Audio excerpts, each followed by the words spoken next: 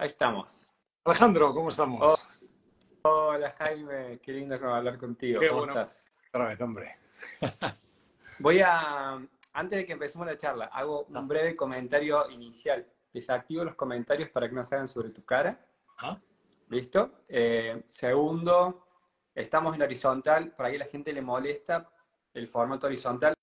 Después pasamos a la conversación en YouTube, ahí es donde queda por más tiempo, así que estamos priorizando para, pensando a futuro, todas esas vistas, que sean más perfecto. pantalla completa. Qué lujo. Y recordarles que eh, en YouTube está nuestra última charla en vivo que hicimos en el 2020, a donde Jaime mostró específicamente todo su estudio, los materiales, hablamos mucho de técnica, así que tienen ese otro video también si les interesa y no lo vieron. Bueno, eso como, como breve intro.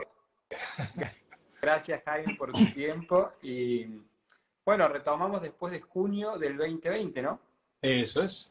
Ahí es nada, tres añitos. Que pasaron volando. Sí, señor. Sí, señor. La de cosas que han pasado, ¿verdad? Ha sido tres años. Yo creo que como veníamos tan acelerados quizá de- del tema del COVID, luego hemos querido, querido vivir todo muy intenso y yo creo que, por lo menos en mi caso, han pasado demasiadas cosas para tres años. Pero bueno, Sí. pero eso es bueno, supongo. ha pasado mucho a nivel personal y ha pasado mucho a nivel eh, general. Mm. Yo siento que en mi caso nací en un momento bastante bueno del planeta, en el 81, no tuvimos como grandes conflictos, grandes cosas, y de repente tuvimos una pandemia, tuvimos un conflicto, una esta cuestión de Rusia, Ucrania, que ver tanques, cosas que yo nunca había visto en mi vida, o sea, problemas de, de economía global, es como que nos atravesaron de golpe todas las pestes juntas Sí, y, y yo me pregunto eh, si como artistas, ¿cómo lo canalizas? ¿Cómo te impacta? Si, si te genera algo, si te moviliza en, en- en tu sensibilidad, digamos. Ah, Yo creo que es una cuestión muy buena. Yo creo que en las dos, ¿no? Porque, eh, por supuesto, siempre hay una parte, una parte real, práctica de la vida, ¿no? Que si todo en la vida está fluyendo bien, pues tú tienes un, un- un ánimo, un, un espíritu para trabajar y para vivir y para todo. Mm, Y si en la vida pasan cosas que te alteran el orden, que te alteran la, la normalidad, pues hombre, se hace más difícil. Lo que pasa es que, como bien dices, yo creo que eso tiene la otra parte interesante, que es que en el caso de los artistas, cosas como, como la pandemia, por supuesto, dejando de lado el horror que ha causado, las muertes, Sí, que ha sido atroz, pero mm, la, la situación inicial que se creó, eh, ese aislamiento tremendo que se produjo durante unos meses en todo el mundo para todos los seres humanos, pues yo creo que en algunos casos, he hablado con unos cuantos compañeros y en el mío en particular, fue un momento como de, de- de reagrupar tu, tu espíritu, tus energías, tu, analizar un poco cómo estaba todo, tener tiempo para las cosas, porque en general, yo no sé tú, pero yo voy a salto de mata siempre, entre la docencia, las, los encargos, los cuadros, los, los viajes, no, no paras un minuto. Entonces, cuando de repente ocurre algo que te permite tener tiempo, pues fue una, un shock muy tremendo porque teníamos una, una situación muchas veces personal, familiar, a mí me tocó, como a todos, imagino, cosas muy duras en- en- cercanas, pero luego a la vez era una situación tan extraña que a mí por lo menos sí que me, no voy a decir que me haga bien, porque uno no sabe a la larga, no, no sabemos qué habría pasado si no hubiese habido pandemia, ¿no? ¿Cómo habría sido nuestra vida? Pero de alguna manera, a mí por lo menos la sensación que saco es que sí que, sí que ha habido una reflexión que yo creo que muchas veces necesitamos los artistas y que no hacemos, por lo menos en mi caso, ujú, que muchas veces trabajamos pum, pum, pum, pum, pum, no, no analizamos lo que estamos haciendo y hasta que no ocurre algo que no nos permite secuenciar eso que hemos hecho y comprenderlo y, y- y contárnoslo a nosotros mismos, yo creo que no nos damos cuenta de dónde estamos y por lo tanto estamos impidiéndonos avanzar. Entonces, para mí estos momentos de, formas de crisis, de formas de, de momentos duros, de alguna manera me han, en la vida me han, me han dado después, yo creo, los mejores momentos creativos o, o por lo menos una, una nueva reactivación y una nueva línea de trabajo que, que yo creo que es a veces, a muy importante. Caso de la pandemia, más allá de la crisis, me decís que de alguna manera fue este, esta pausa obligatoria de cambiar este ritmo que llevamos medio locado. Eh, Pero bueno, cuando te nombraba recién todo lo que nos está pasando ahora de golpe, me estaba olvidando. Calentamiento global, inteligencia artificial. Como, es como que se aceleró eh, violentamente todo el, cambio y todo eso va a tener como un impacto. ¿Vos crees que de alguna manera eh, puede tener algún impacto en tu visión del arte o de la obra que uno quiere hacer? ¿O crees que seguimos con los mismos temas o con las mismas búsquedas internas? Hombre, yo creo que haces un planteamiento muy, muy interesante porque todas estas eh, situaciones en las que se abre un nuevo campo, como esta de la inteligencia artificial o otros muchos que vendrán, eh, evidentemente abren puertas en las que puedes transitar o no, de las que te puedes nutrir o no. Son, son elementos de nuestro tiempo. Yo, yo por la forma de trabajar estoy como en, otro, en otro lado. No, no tengo interés en, en generar más, más calidad de información o más información o, que me genere la información de la imagen, porque lo que quiero es jugar yo a deshacer la, mía. Eh, para empezar, yo creo que cuando llevas tantos años, tu universo pictórico, es decir, lo que tú pintas, porque al final si yo te digo a ti Velázquez, tú no piensas en, en barroco ni piensas en unos colores, piensas en las hilanderas o los borrachos o las meninas. Es decir, tener las imágenes que al final son los cuadros que él decidió pintar, las imágenes que él eligió. Entonces, el imaginario que tenemos cada artista yo creo que es lo que nos define, es la, nuestra portada. Y luego puede estar la técnica, la forma, el color, pero esto es como la primera impresión de, cualquiera que se asoma a tu trabajo. ¿no? Entonces, en ese sentido yo creo que la forma en la que yo estoy trabajando ahora va mucho más en, ahondar en, los, en, el imaginario que yo he creado, abrir nuevas líneas, pero a partir de esa misma, esa misma franja de trabajo, y sobre todo jugar al, a romper, a descomponer, a abrir las posibilidades del cuadro, eh, en el color, en el blanco y negro. Entonces, no, no veo que me pueda aportar el mundo de la inteligencia artificial y no, no lo he usado, no, no sé todavía cómo va, pero entiendo que, que, en otras muchas propuestas de figuración actual puede funcionar de maravilla y puede ser una, una forma de, de gestionar o de, o de, sugerir imágenes, mm, contenidos, mm, no sé, me parece que puede, que puede enriquecer a la persona que, que trabaja en esa línea. en claro. caso yo creo que este en concreto no. Ahora, ahora vamos a, ahora te voy a preguntar obviamente del rumbo que está tomando tu obra, pero antes, ya que nos vamos a meter en ese tema, para seguir dando un poco de contexto, para entender cómo pensás o cómo estás digiriendo todo lo que pasa, una, te hago una última pregunta de algo que a mí me, me genera mucha inquietud y es, ¿qué pensás sobre esto de frente a estos cambios que, digamos, hay quienes, hay quienes dicen que es como un cambio más que de todos los que han pasado y hay otros, otros pensadores que están viendo este momento como una especie de quiebre histórico, como algo que nunca pasó antes. Eh, ¿Tenés la sensación de que a veces lo que nosotros hacemos está trabajando sobre una hoja de papel, creando una imagen, puede llegar a quedar obsoleto desde algún punto de vista? Esa, pregunta es fantástica porque se la hace uno a lo largo de, la carrera, a lo largo de, su vida profesional 700 veces. 700, pero y yo creo que hoy cobran más, con, claro, con lo que está pasando. Totalmente, lo que pasa es que yo creo que, siempre tiene la misma respuesta. Mm, yo creo que mm, si hay algo que, que le ha dado mm, dos mil años de historia a la pintura y que la mantiene a través de, los siglos, especialmente de este último siglo y pico, con la fotografía, con el vídeo, con, con todas las formas de arte que, que, han arrinconado la forma de hacer figurativa. Yo creo que, que, que sigue existiendo eh, la, el núcleo tan potente, que yo creo que va más, de una forma increíble últimamente, de gente apasionada por esta forma de pintura y, y que cuanto más difícil nos hace en la vida, porque ahora es difícil ser pintor figurativo en este momento del mundo, eh, más hay, o sea, más artistas salen, más talento florece. Ahora mismo hay generaciones jóvenes haciendo cosas alucinantes. Cuando no hay, aquí en España no hay galerías prácticamente que, que, saquen figuración. Hay muchos que lo intentan, muchos valientes, pero es muy difícil porque no hay, no se vende. Y aún así la mm. gente sigue. Entonces yo, yo creo, yo creo que eso que tú dices de, de, de pintar en la tela, en el papel, esa obsolescencia me parece a mí que es de alguna manera nuestro beneficio, es como nuestro valor, ¿no? Y, y es lo que nos hace remar en situaciones como estas en las que te, te, aparece inteligencia artificial y se pueden crear imágenes solas. Y el otro día les enseñaba a los alumnos una fotografía que había ganado un concurso de fotografía internacional de primerísimo nivel. Y cuando al fotógrafo le van a dar el premio, que la fotografía era alucinante, era una maravilla, pues el hombre dice, no, no, no, no me lo deis porque lo he generado todo con inteligencia artificial. O sea que se llega a hacer todo con eso.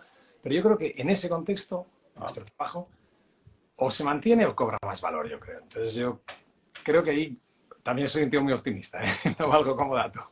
No, yo creo, yo optimista nato, está muy bien. Eh, a, mí me, a mí me da la sensación de que tiene sentido mientras nosotros le demos sentido o, mientras le dé sentido a nuestra vida como hacedores, pero se genera esta paradoja que recién mencionabas en la cual cae mucho la, la, demanda, o sea, cada vez hay menos mercado y además en el marco de una suerte de crisis financiera global y cada vez hay más gente produciendo, o sea que para mí apunta la, la tendencia este, este, relación entre oferta y demanda en que realmente lo hacemos porque no, nos, nos dota de sentido nuestra propia existencia y eso es, es válido por sí.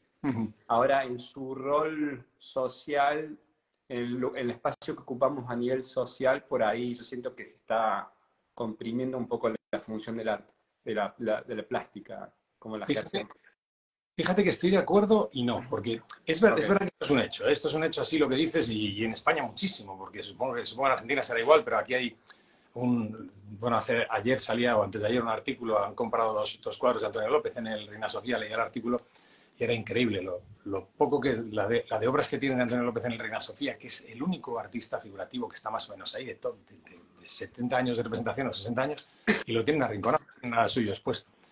Pero, no sé, de alguna manera, este, este, mm, esta, precisamente esta situación que se está dando, creo que es la que puede hacer que surja más y que tiremos más del carro. De alguna manera, no sé, cuando, cuando, cuando yo me planteo, por supuesto lo que dices es cierto, la, la dureza de que, de que, ahora no va a haber, ahora tú sales aquí, no hay, no hay prácticamente compradores, no hay galeristas, la cosa está muy dura, pero a la vez eh, está surgiendo mucha más, eh, mucho más talento y mucha más eh, creación buena. Y a mí lo que me choca mucho es que cuando se hacen exposiciones, que cuesta muchísimo verlas, pero cuando se hacen exposiciones de figuración buena, montan unas colas que no se ven nunca en los museos. Entonces, entonces, entonces yo creo que no es que el público no esté demandando eso, es que el público no lo conoce.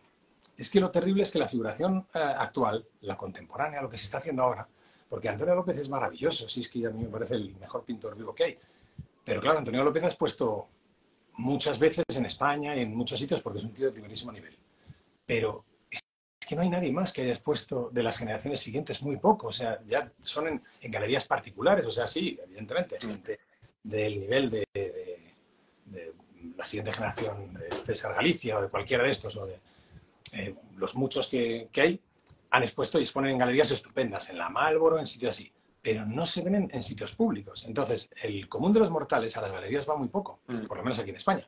Entonces, si tú no le pones a la gente en el Prado, en el Thyssen, en el Reina Sofía o en la Casa de Cristal de Velázquez, de, o, perdón, del Retiro, las obras que se están haciendo ahora a nivel de, de, figuración contemporánea, la gente no las conoce. Cuando se ve una exposición de figuración, la gente te dice, pero ¿dónde está esto? ¿Pero dónde estaba esto si yo esto no lo he visto nunca? Entonces, yo creo que es más la falta de visibilidad que hay que la realidad de que la gente no, se, no, no esté interesada ahora por, la, por la, las artes plásticas. Yo creo que cuando sale algo bueno, la gente monta unas colas tremendas. Aquí trae una exposición interesante y, se, te llena la calle de gente. Entonces, yo creo que que es más un, un error en la política, de, en la política cultural de, de, los gobiernos en general que una cuestión del público. El público yo creo que siempre ha, siempre ha amado la pintura y le encantaría volver a verla, yo creo.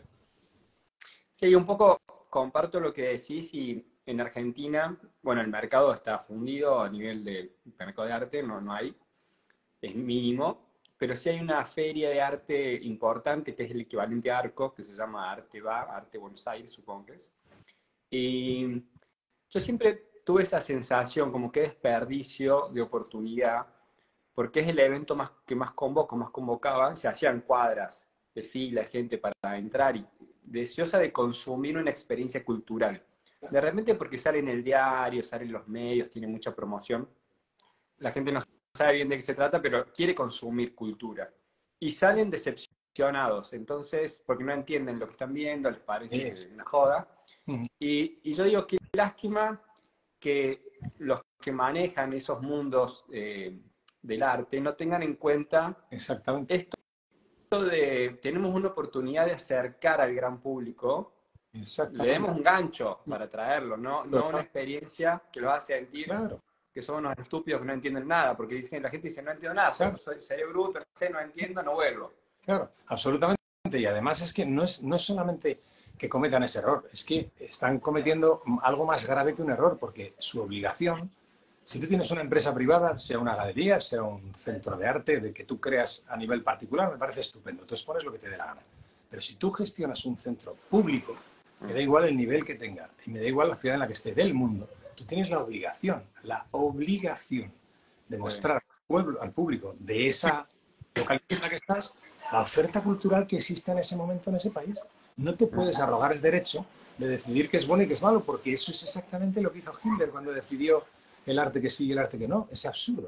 Entonces, ese es el punto en el que vivimos, que no tiene sentido. Como bien dices, Arco o la Feria de, Buenos Aires es lo mismo. Es ferias en las que, ¿por qué no puede haber figuración también? Y la gente disfruta de, como tú dices, de la experiencia cultural donde ves todo. Si no tiene que ser una feria de arte figurativo y una feria de arte. No, no, no.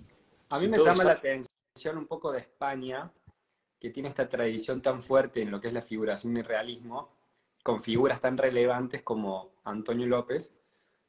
Eh, cuando, por ejemplo, en Estados Unidos, yo veo que en el mercado contemporáneo, si vas a las ferias, se muestra de todo. Yo me acuerdo, creo que lo hablábamos con Miguel Ángel Moya, me acuerdo haber visto su obra en la Feria de Los Ángeles. Era wow, en el stand de, de Arcadia creo que estaba. Pero está la Forum, hay, dos o tres galerías fuertes que muestran buena figuración. Y al lado me acuerdo que había un auto colgando partido por la mitad y en el stand de al lado manchas. Y yo decía, qué lindo ver todo. Y me llama la atención que en España no se dé ese fenómeno con la, con la tradición que tiene. Absolutamente, tienes toda razón. Yo creo que aquí ha habido como una colonización tremenda de, la, de las instituciones públicas por parte del discurso de la figuración es algo que está fuera de, fuera de lugar, que no se cuestiona, que no se pone, no, no tiene sentido, no tiene cabida. Y ni es que ni se discute.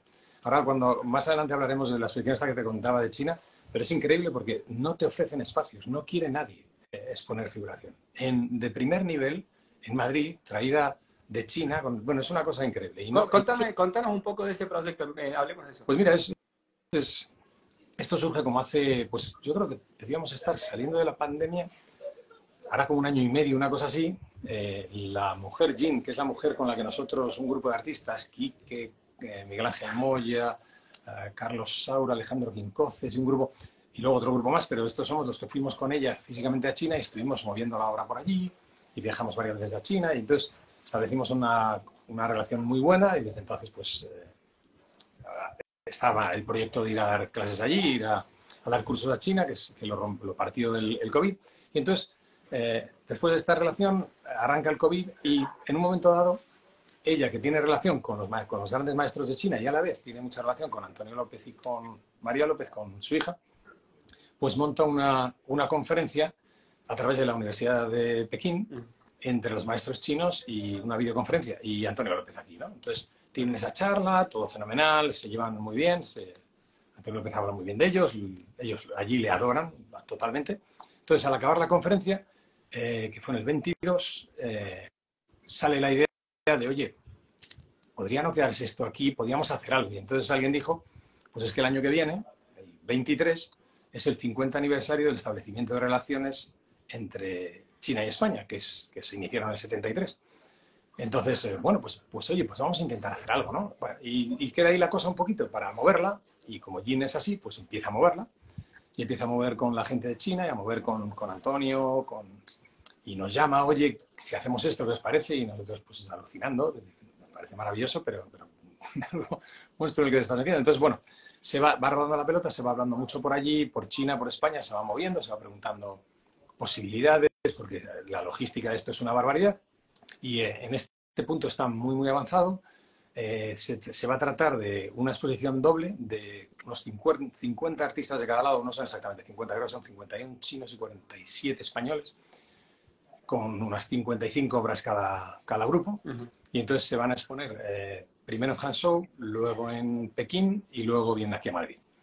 Y entonces eh, son, es como, como exponer un poquito el desarrollo de la figuración desde los maestros hasta nuestros días, ¿no? cogiendo un poquito una selección de todas las generaciones. Es muy difícil hacer una selección.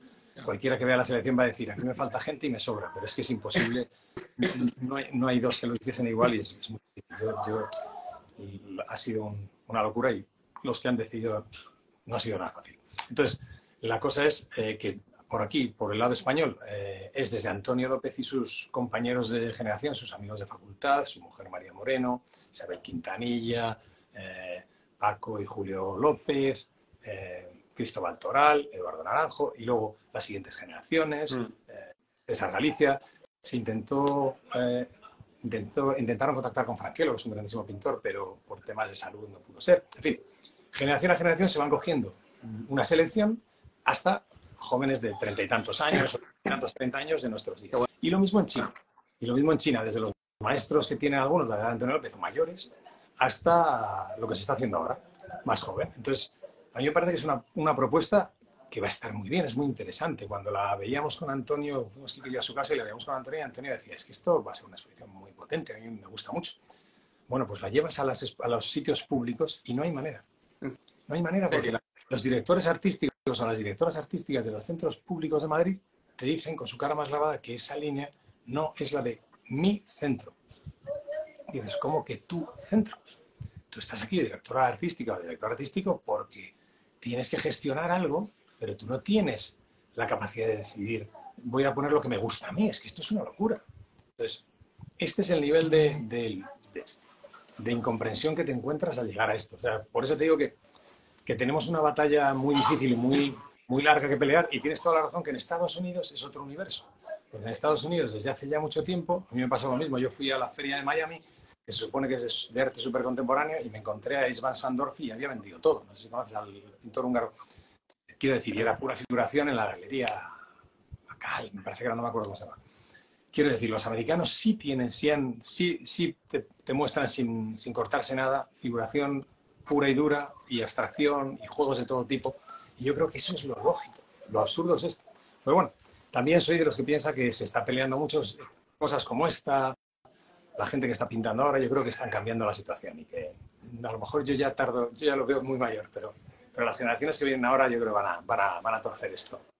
Y va, a volver a, ponerse la figuración donde tiene que estar, ¿eh? con, con, el resto del arte, ni mejor ni peor, una propuesta más. Exacto.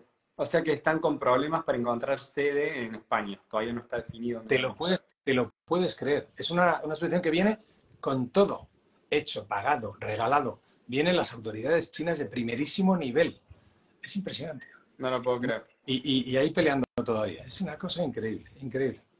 Y luego coges los programas de los sitios que te están poniendo problemas, los programas de exposiciones que tienen y dices, de verdad, de verdad, el traje en Madrid. Cinco meses en, el espacio centro-centro de Madrid. Pero no puedes hacer un hueco de un mes para esta exposición. Y dices, es que es, que es lo que tenemos. O sea, lo que tenemos es esta realidad. Jaime, una batalla muy en términos de En términos de mercado, ¿cómo ves la situación a nivel global? En un momento se estaba abriendo un mercado en Rusia interesante, pero bueno, después obviamente no. China, me dicen, eh, hablando con, con, ustedes en España, que están más cerca, me dicen que hay interés, pero que, que no, no, compran mucho si no son chinos. Hombre. Eh, ¿por, dónde viene la cosa? ¿Cómo lo ves ahora? Yo te diría que precisamente esto es una conversación que tenía también con María López, porque ya te digo que soy, soy demasiado optimista, entonces la mujer no lo veía tan claro, pero yo le decía, yo no digo que vaya a pasar algo, pero yo lo que digo es que si puede pasar algo es a través, a través de situaciones como esta.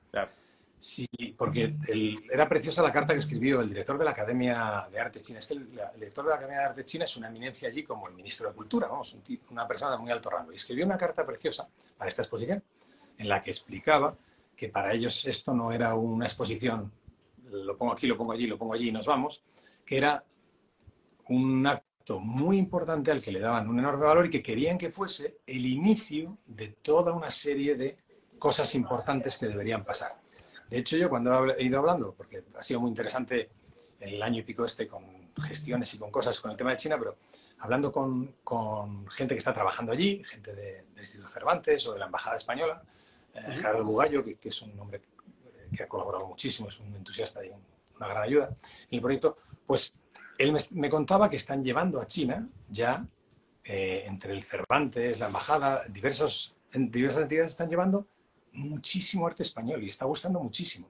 Han llevado a Dalí, han llevado, han llevado del Prado, del Thyssen, han llevado a Antonio López, lo están llevando ahora en un proyecto muy potente, además de este pequeñín. Eh, o sea, se está llevando mucho, hay muchísima admiración y muchísimo interés por, por España como base de la figuración. Entonces, mm. miran aquí mucho como referente y es un mercado tremendo. Como tú dices, hasta ahora, claro, ha sido un mercado cerrado, pero es que hasta ahora China ha sido un mercado cerrado para todo, hasta para vender o comprar tornillos. En cambio, eh, si, si nosotros ahora, eh, en este momento en el que puede, puede abrirse la cosa, estamos donde tenemos que estar, tendemos esas, esas, esos lazos, esos puentes y se establecen esas conexiones, pues yo creo que pueden ocurrir cosas muy interesantes, porque aquí hay mucho, mucha base pictórica que, que aportarles, o mucha historia, mucho recorrido, mm. mucha tradición, y allí hay mucha, mucho coleccionismo, mucho interés por el arte figurativo, que tiene muchísimo poder allí, se vende muy bien. Entonces, puede haber un intercambio interesante. No digo que vaya a ocurrir, pero hombre, yo creo que, Ojalá. es un punto, un punto, bien bonito me vuelve, para soñar. Me vuelve loco que desde afuera del mundo los ven como, una, como un refer, país referente de la figuración y dentro del mismo país no hay lugar. Eso es como... En casa del herrero, ¿verdad? Sí. ¿Y tuviste la oportunidad de dar clases en China también? No, eh, justamente fue Miguel Ángel Moya. Yo creo que fue en diciembre antes del COVID, noviembre, diciembre, quiero recordar, soy muy malo para las fechas. Juraría que en esas fechas fue Miguel Ángel, dio unos cursos ahí, lo hizo fantástico el hombre. Y entonces a la vuelta se suponía que poco después íbamos a ir o Quique y yo, o Carlos y Alejandro, íbamos a hacer como equipos así para ir yendo y vino el COVID y, bueno, estamos, se están restableciendo los contactos porque, claro, China sí que ha cerrado dos años a Calicanto, entonces está volviendo ahora la cosa poco a poco. Pero sí has estado viajando mucho con las clases, ¿no? Has estado en muchos workshops sí, sí. y muchas clases presenciales, eh, eh, semanales, digamos, sí, ¿no? Sí, sí, yo, yo tengo ahora muchísima suerte con el tema de la docencia, que me gusta mucho además. Se me lleva mucho tiempo, pero claro, es que no, es imposible eh, darle con intensidad y que no te lleve tiempo. Entonces yo ahora tengo dos días de, de clases presenciales, es, es, mucho, pero es que primero es un ejercicio fantástico para mí. Yo aprendo muchísimo con los, con los alumnos y de los alumnos, claro. porque hay mucho nivel. Tienes no solamente que tú tienes que corregirles, que, que, que tienes que en muy pocos minutos eh, solucionar ese problema, irte a otro y luego a otro. Por supuesto, ese ejercicio es maravilloso y es fantástico y es muy intenso. Pero es que además los alumnos que tengo eh, hay una buena franja de ellos que tienen un nivel tremendo, pero tremendo. Entonces, ya se vuelve muy interesante hablar con ellos del, de, de, qué están haciendo, de por qué lo están haciendo, de qué línea tomar, de las opciones que ofrece ese cuadro, de no, no, no, si vamos a hacer esto y va, va a quedar, por supuesto, si vamos a hacer un retrato lo hacemos, pero no, es que luego hay, gente que está proponiendo, proponiéndome en clase cosas diferentes. Y yo, Jaime, yo quiero romper, quiero hacer esto distinto, quiero una línea en esto, en, este, en esta línea quiero un trabajo. Claro, vamos a probar. Entonces, para mí está siendo un, un, aprendizaje tremendo que cuanto más tiempo estoy en él, más, más aprendo. Y luego los workshops y, y las salidas eso, son fantásticas. Perdón, Jaime, eso lo hace estos días eh, enteros, muy dedicado a... Miércoles y viernes, todo el día. Cuatro horas por la tarde y cuatro por la mañana. Cuatro por la mañana y cuatro por la tarde. Pero ¿Y dónde lo haces? En, en Baco, en Azul de Cadmio, que es una, una academia que está detrás de, de una tienda de Bellas Artes entonces, lo, lo, bueno que tiene es que hay un grupo de pintores muy potente. Está, ha estado, lo que pasa es que se va este año, pero ha estado Eloy Morales. Eloy sí, comentó el otro día que estaba o sea, hay un grupo, fantástico, Susana Rangel, Vicente García de, de Acuarela, eh, Miguel, Ángel, eh, Miguel Ángel Diboski. Hay un, un, grupo fantástico. Entonces, o sea que ustedes también se cruzan y comparten entre... Claro, claro, muchos, muchos alumnos míos de repente dicen, oye Jaime, que me voy, el mes que viene me, me, paso con este y me voy a dar clase con este otro. Y a mí me viene, oye, que yo soy de Susana, que aquí, Jaime, tienes un hueco, quiero dar clase contigo. Y es, crea una, una interacción entre los alumnos y los profesores fantástica. Eso es muy Entonces, interesante.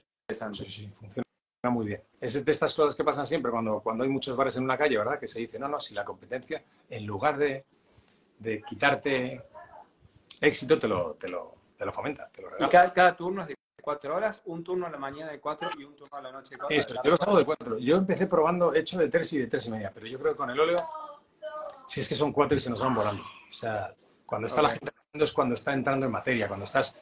Si es- dibujo, a lo mejor podrían hacerse más cortos, aunque la gente también se mete mucho y, y se pasan las horas volando. Pero es que yo creo que en el óleo, entre que uno llega, prepara los colores, eh, se mete, porque el óleo, el óleo tarda uno en, en- en estar en modo pintura, ¿no? Mm. Y entre que llega eso y luego tienes que recoger al final, yo creo que en menos de cuatro horas al final no pintas ni dos, dos y pico. Entonces, cuatro horitas, la gente no se queja al revés. Hay muchos que me hacen doble turno, que se quedan las ocho. Mira. O sea que hay, hay verdaderos masocas. Yo quise, quise empezar en Buenos Aires con turnos de cuatro cuando me vine a vivir de Córdoba para acá. En Córdoba era asistente de mi maestro y teníamos el taller que era todo el día. Y la gente entraba, salía, era como en las afueras. Era muy divertido. Y ahí se bueno. comía, se compartía, muy lindo. Pero Buenos Aires, gran ciudad, eso era imposible. Puse turnos de cuatro y lo tuve que bajar a tres porque o llegaban tarde o se iban temprano. Acá, viste que es la ciudad de la furia. Buenos Aires es como muy, Claro. muy, muy... Claro. Claro, tiene que ser que la ciudad te impone ese ritmo. Porque tú fíjate que a nosotros, yo doy clase, por ejemplo, de 10 a 2 y jamás consigo salir antes de las dos y media, tres menos cuarto a comer. Porque siempre se agarran ahí. Va, última, venga, venga, último stop, y tal. Digo, tío, es que no comemos, que hay que volver por la tarde. Wow, No, no, aquí, hay- aquí es un- una locura. qué lindo. Y después los workshops. Y los bolsos, la verdad es que a mí me, han- me siguen yendo muy bien. Ahora estoy moviéndome más, eh, están saliendo más en el extranjero. Ahora me voy en, en agosto a, a Bélgica, a Dante, Ajá. con Tania Tanasova, que es muy magia, ha montado un taller ahí que me viene gente de Estados Unidos, de Sudáfrica, de Alemania. Wow. Tengo muchísimas ganas, va a ser muy interesante. Y luego, el año que viene, mm, tengo que cerrar fechas, pero presumiblemente vaya a México y Andorra. Y, y luego por aquí, por España, siempre tengo cuatro o cinco que no puedo fallar, que van, voy alternando, que a veces son seis. O sea, no, no, uno al mes, un mes y algo, seguro. Entonces, Entonces, ¿cómo se distribuye porcentualmente tu tiempo y energía entre la docencia y la obra? ¿Cómo lo tenés repartido? Pues la- lo, lo que ocurre es que lo que no tengo es ningún tipo de día libre, porque yo doy clase el miércoles y viernes, eh, cuando tengo que irme a un me- me voy un fin de semana o lo que toque, y los otros cinco días lo que no haya cosas externas, que ya sabes cómo es la vida, siempre hay cosas externas, pero cuando no haya cosas externas, familia, otras cosas, lo que sea, a tope, al agujero, al estudio, a, sacarlo a machete, claro, porque te va quedando muy poco tiempo, entonces hay que exprimirlo como sea. Y ahora cuando llega el verano, que estás sin clases y, y con un, un workshop solo que me queda, pues exprimo cada día como si no hubiese un mañana, que es una gozada. Qué bien, qué bien. Bueno, y en este tren de trabajo así tan intenso, preparaste, o sea, hay dos cosas que me interesa charlar, un poco la muestra del MEAM y un poco aquella obra que cuando nos encontramos en el 21, ¿te acordás en, en Barcelona? Estábamos en la inauguración del, del figurativo así el ARC y tenías tu, tu pintura premiada, que creo que era una, una- un premio o primera mención, no me acuerdo. Fue una mención de honor. Ok, mención. Era un desnudo, ¿no? Eso, Un, un eso. cuerpo. Sí, sí, ese lo, lo tengo por aquí. Luego sí, hacemos un pequeño movimiento, lo enseño un momentín, pero vamos, ya, ya, lo, ya lo habréis visto. Pero sí, ese, ese, ese para mí, ese cuadro con este que tengo detrás y alguna, alguna cosa más, son los cuadros que han marcado un poco eso que decíamos que surge con el COVID, ese- esa necesidad de, de, de buscar otra, otra línea, ¿no? O por lo menos de, de modificar la tuya. Yo soy muy lento y muy conservador, no soy nada, nada valiente. Hay gente que, que- que rompe y hace cosas tremendas. Yo, yo cuando hago un, un salto es un poquito, pero para mí ya es una cosa tremenda. Entonces, ese desnudo para mí fue un cambio muy importante y, y me, por un lado me gustó mucho cómo quedó y por otro lado me produjo una enorme satisfacción el- el- la acogida que tuvo entre la gente. Ok. Me hizo mucha ilusión el, el- cuando fuimos ese fin de semana, a, ¿te acuerdas? El fin de semana de la entrega, claro, tú- este fue la entrega de premios. Sí. Nosotros, Quique y yo fuimos a Barcelona un fin de semana que debió ser pues un mes y pico antes, que es cuando se reunía el jurado Mm. para, para liberar. Entonces yo recuerdo que nos reuníamos en la terracita de, de la entrada del MEAM. Yo creo que estaban eh, Jordi Díaz Alamá, José Manuel Infiesta, Quique, juraría que estaba José Enrique y yo. No sé si había alguien más. Y entonces es cuando, cuando Infiesta el hombre comentaba lo de, me comentó, mira Jaime, eh, no te has llevado el premio. Ni que tuviese que llevármelo. Me dice, pero, pero me ha gustado muchísimo tu trabajo, me, me habló muy bien de él y yo también, entonces me hizo muchísima ilusión y José Enrique. Entonces me hizo mucha ilusión que, que, que, la gente que estaba en el jurado del MEAM le estuviese dando ese valor. Y entonces es cuando comentaron esto de que el MEAM estaba haciendo ese, ese giro de timón y que estaba yendo a, a por lo menos abrir eh, las propuestas, abrir el espacio del MEAM a propuestas más, más contemporáneas, más rupturistas, más de todo tipo. Que no significa que el MEAM quisiese premiar, eh, volverse un museo de eso, pero que eso tuviese cabida, que, que, les estaba dando un poco la sensación a ellos de que el MEAM se estaba quedando un poco como, como espacio hiperrealista y que ellos querían un poco abrir ese, ese, ese espacio y ese concepto para el museo. Eso me pareció interesantísimo. Además, la obra de Paco, de Paco que, se llevó el premio me parecía potentísima y además muy rompedora y era una obra que, que yo creo que venía muy bien en esa línea. Entonces fue un, para mí un, un, aldabonazo tremendo cuando te lanzas a probar algo diferente y, los compañeros te, lo valoran, te lo dicen y, luego cuando, cuando hice la exposición en el, la exposición ya en el MEAM, me volvió a, a, dar mucho... Yo creo que es que nosotros estamos mucho tiempo metidos en el hoyo, entonces tenemos poca interacción con nuestros compañeros. Hay mucho Instagram y mucho vernos en el, en el formato que nos estamos viendo ahora, en este tamaño pequeñito del, del, cuadradito del móvil, pero no vemos la obra de los compañeros en vivo casi nunca. Claro. No nos vamos mucho a los estudios de los demás. Entonces, cuando yo hice la exposición en el MEAM y vino a verla un montón de compañeros, de pintores de primerísimo nivel, de todo y de toda España. Y vamos, me emocionó muchísimo y sobre todo me encantó la, la respuesta. Venían y las cosas que me decían. ¿no? Y en este cuadro en concreto me dijeron cosas muy, muy potentes y muy interesantes muchos amigos a los que tengo en enorme estima personal y artística. Entonces, este digamos que fue un cuadro que me marcó mucho y para, para seguir en la línea de lo que estoy, de hecho, lo siguiente que estoy haciendo es una mezcla de estos dos, ¿no? del que tengo detrás y del desnudo, que es la línea en la que ahora me estoy viendo un poco más. Ahora profundizamos sobre eso y un poco sobre la muestra, pero te quería preguntar a, ra a raíz de lo que venís hablando, hay, hay tres, tres, cosas que me surgen así como ganas de charlar. Por un lado, es, eh, mencionaste la dirección que quería tomar el MEAM o que, que estaba uh -huh. señalando un poco con el, con el, premio que le dieron a Paco, que era como un, una muy clara la orientación, Exacto. un poco esta diferenciación del otro salón que se inauguraba al mismo tiempo que del ARC. Exacto. Pero en esta última premiación que fue ahora hace poquito, pareciera como que la tendencia se puso más, yo lo veo como más realista que antes, o sea, bueno. o más técnico, más, más fotográfico, entonces eso me, me descolocó. Para, te digo las tres. Eh, segundo, me hablas de la, el deseo de ruptura, me lo decías de tus alumnos, de tuyo. Me encantaría que hablemos sobre eso también. Te lo digo para no olvidarme. Muy bien. La, la, ruptura siento que es como una herencia de, del legado siglo XX, que era la palabra clave, romper, romper, romper con lo que sea. Y, y quería saber qué satisfacción o, te, o qué, qué, te impulsa a vos a querer romper con algo o qué satisfacción te puede generar o por qué el deseo de romper, ¿no? Que yo lo siento muy siglo XX, pero igual todos los figurativos, claro. no, es, no sé si es una herencia o, o de dónde viene. Y después sí que hablemos del cuadro, ese cuadro que ganó, que a mí me encantó y que tiene como, tenía como un clima, técnicamente, no sé cómo lo hiciste, después si nos puedes contar un poco, era como ceroso, ¿no? Yo lo veía como si el medio fuera como de cera, con una profundidad, una cosa como difusa, medio como líquida. Yo, yo lo asocio al concepto de algo ceroso, o sea, no sé si se entiende, ¿no? Como... Sí, sí, completamente. Okay. Te entiendo no, no, tiene nada de eso, aunque en, otras, en épocas de mi vida he trabajado con encáustica, que es muy cerosa, pero, pero este, este, este, es todo, todo, ahora te cuento, es un poco el proceso de trabajo que, que a mí me ha, me ha, encantado y ahora te cuento en, en, en, detalle. Si quieres, vamos en orden. Tal. La primera, es, que, es que abriste muchos temas, claro, entonces... Te cojo el primero, que era, creo recordar, el, de, el del MEAM, el del cambio sí. de...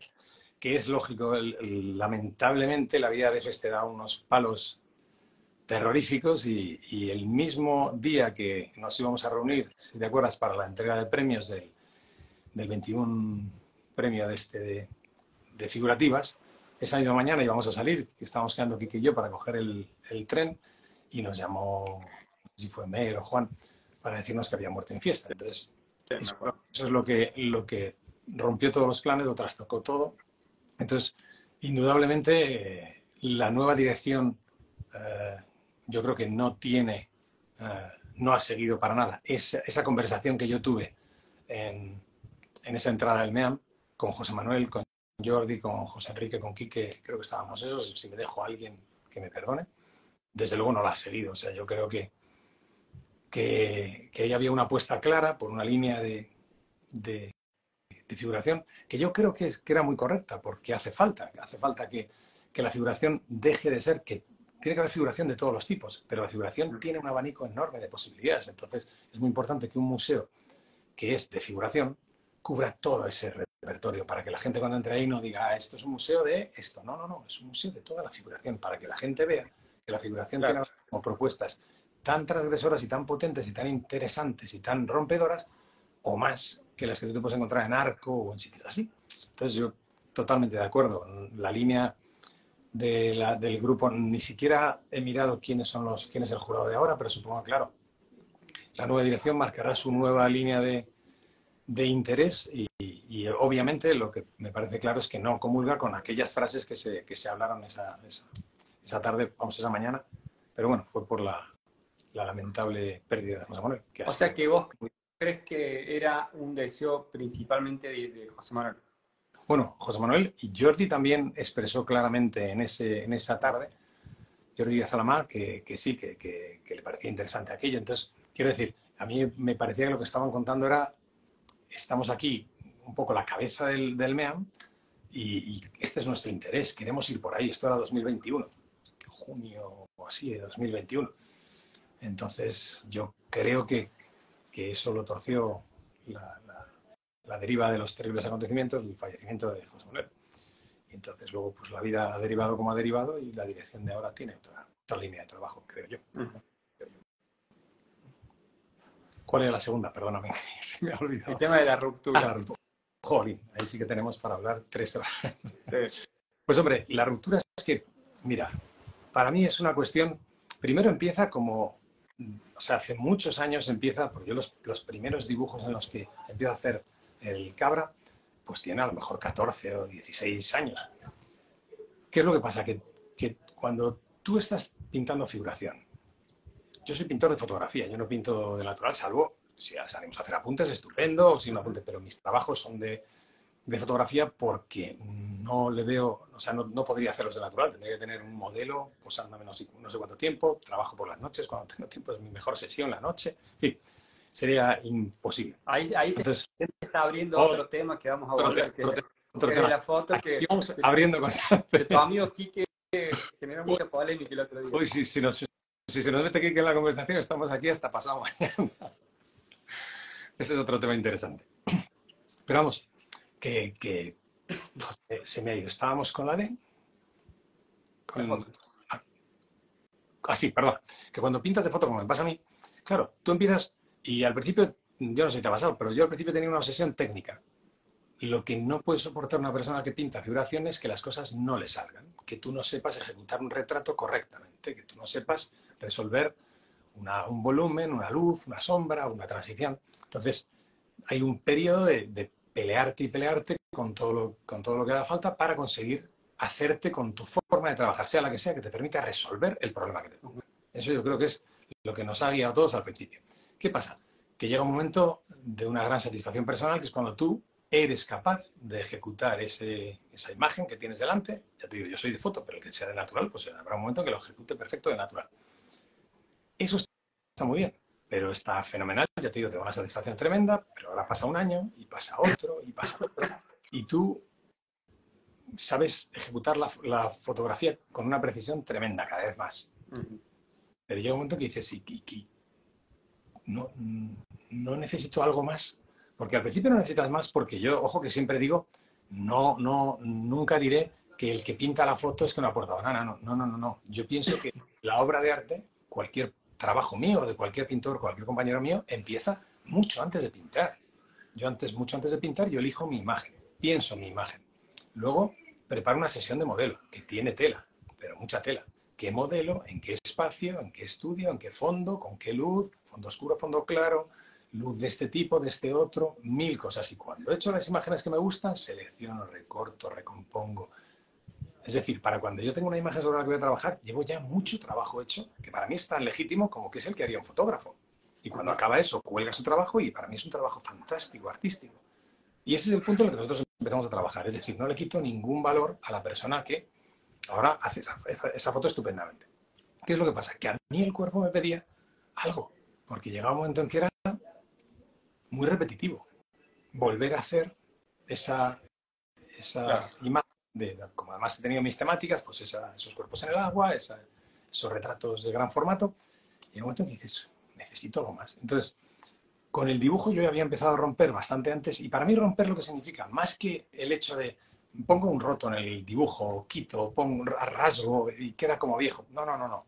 Para mí lo importante del concepto de romper es el proceso, la construcción del cuadro. Para mí lo que ha cambiado radicalmente es cómo me enfrento yo al cuadro. Yo antes partía de, una imagen, la tenía ahí, y yo tenía mi proceso muy trabajado, muy elaborado, tanto en dibujo como en pintura, y yo iba pam, pam, pam, pam, pam, y en un momento dado decía esto, ya me, ya me parece que está bien, pum, al siguiente.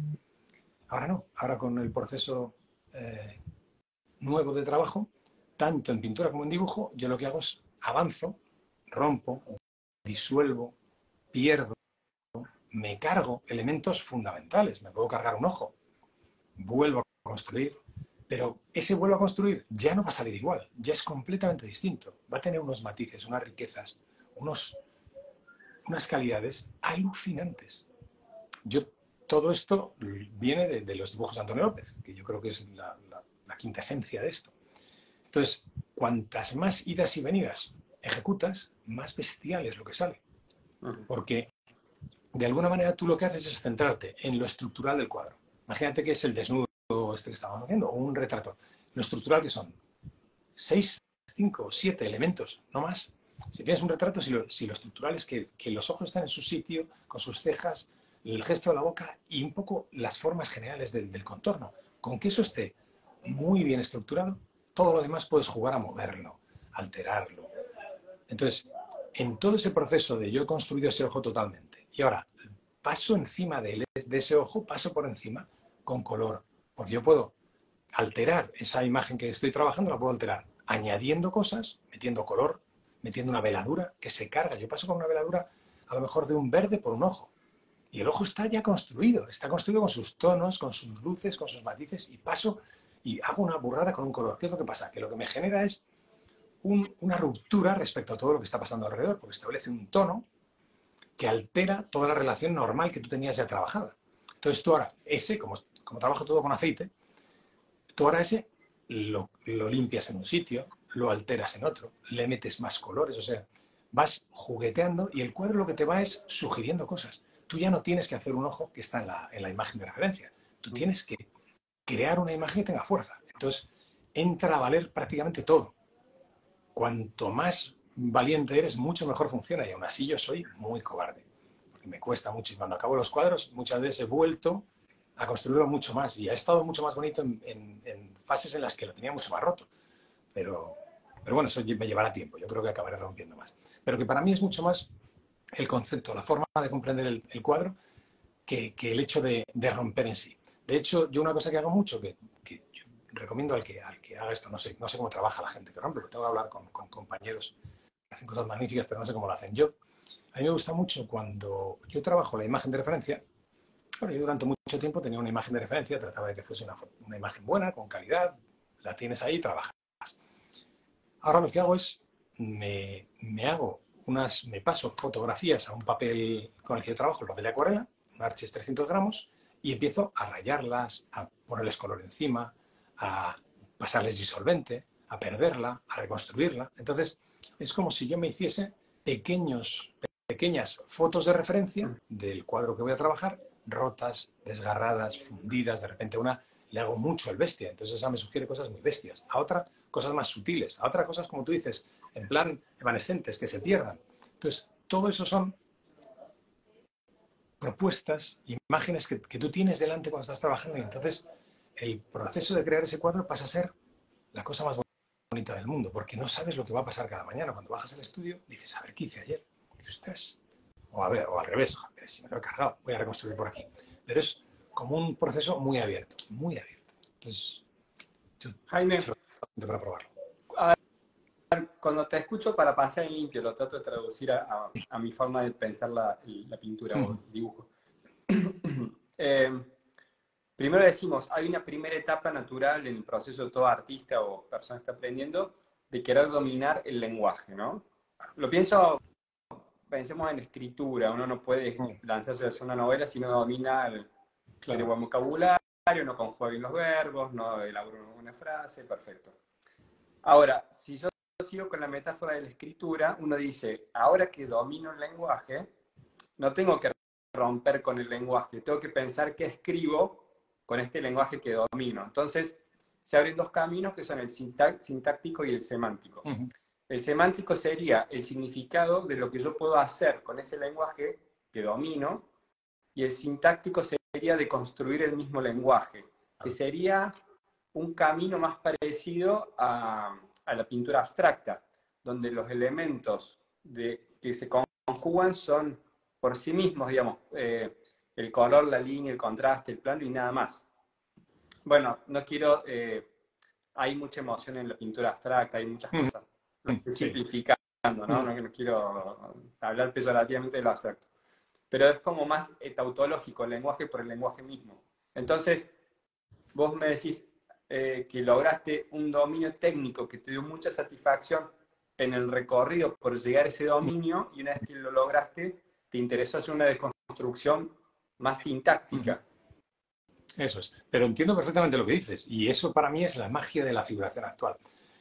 Completamente de acuerdo. Tengo amigos que seguramente han hecho ese mismo recorrido, seguro no, con toda seguridad, porque pinta maravillosamente, y han llegado a ese dominio absoluto de, la técnica, y más que yo, y luego no han, necesidad, no han necesitado descabalgarse de esa posición y han abierto líneas interesantísimas jugando con formato, temática, mm. técnica, eh, composición. Ahí tienes a Iván Franco Fraga, que me parece una mala bestia de pintor, y técnicamente no se baja de una, de una exquisitez increíble y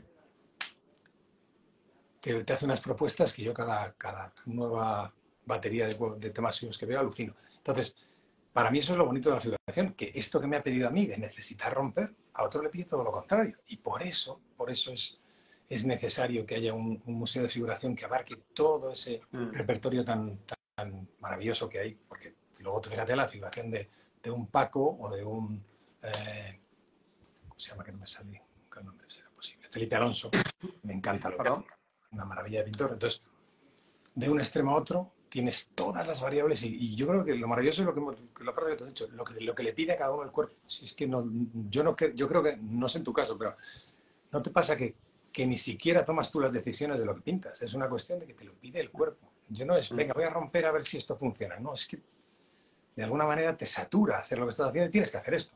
Y yo estoy seguro de que a otro pintor todo lo contrario. Le pide más caña, le ofrece otros caminos y le, le anima a ir por otras sendas. ¿no? Entonces, esa es la maravilla. Pero te pasa que un poco la presión que se ha ejercido sobre los pintores que están en, con un oficio muy desarrollado, muy técnico en el realismo, pareciera como que hay una presión de afuera, como está tan mal visto en algunos ámbitos del arte, como que nos tuviéramos que excusar de, no, bueno, yo soy técnico, pero voy a romper, no se preocupen, ya, viene la ruptura. Absolutamente, sí, sí, sí, es el mayor pecado que puedes cometer ahora mismo.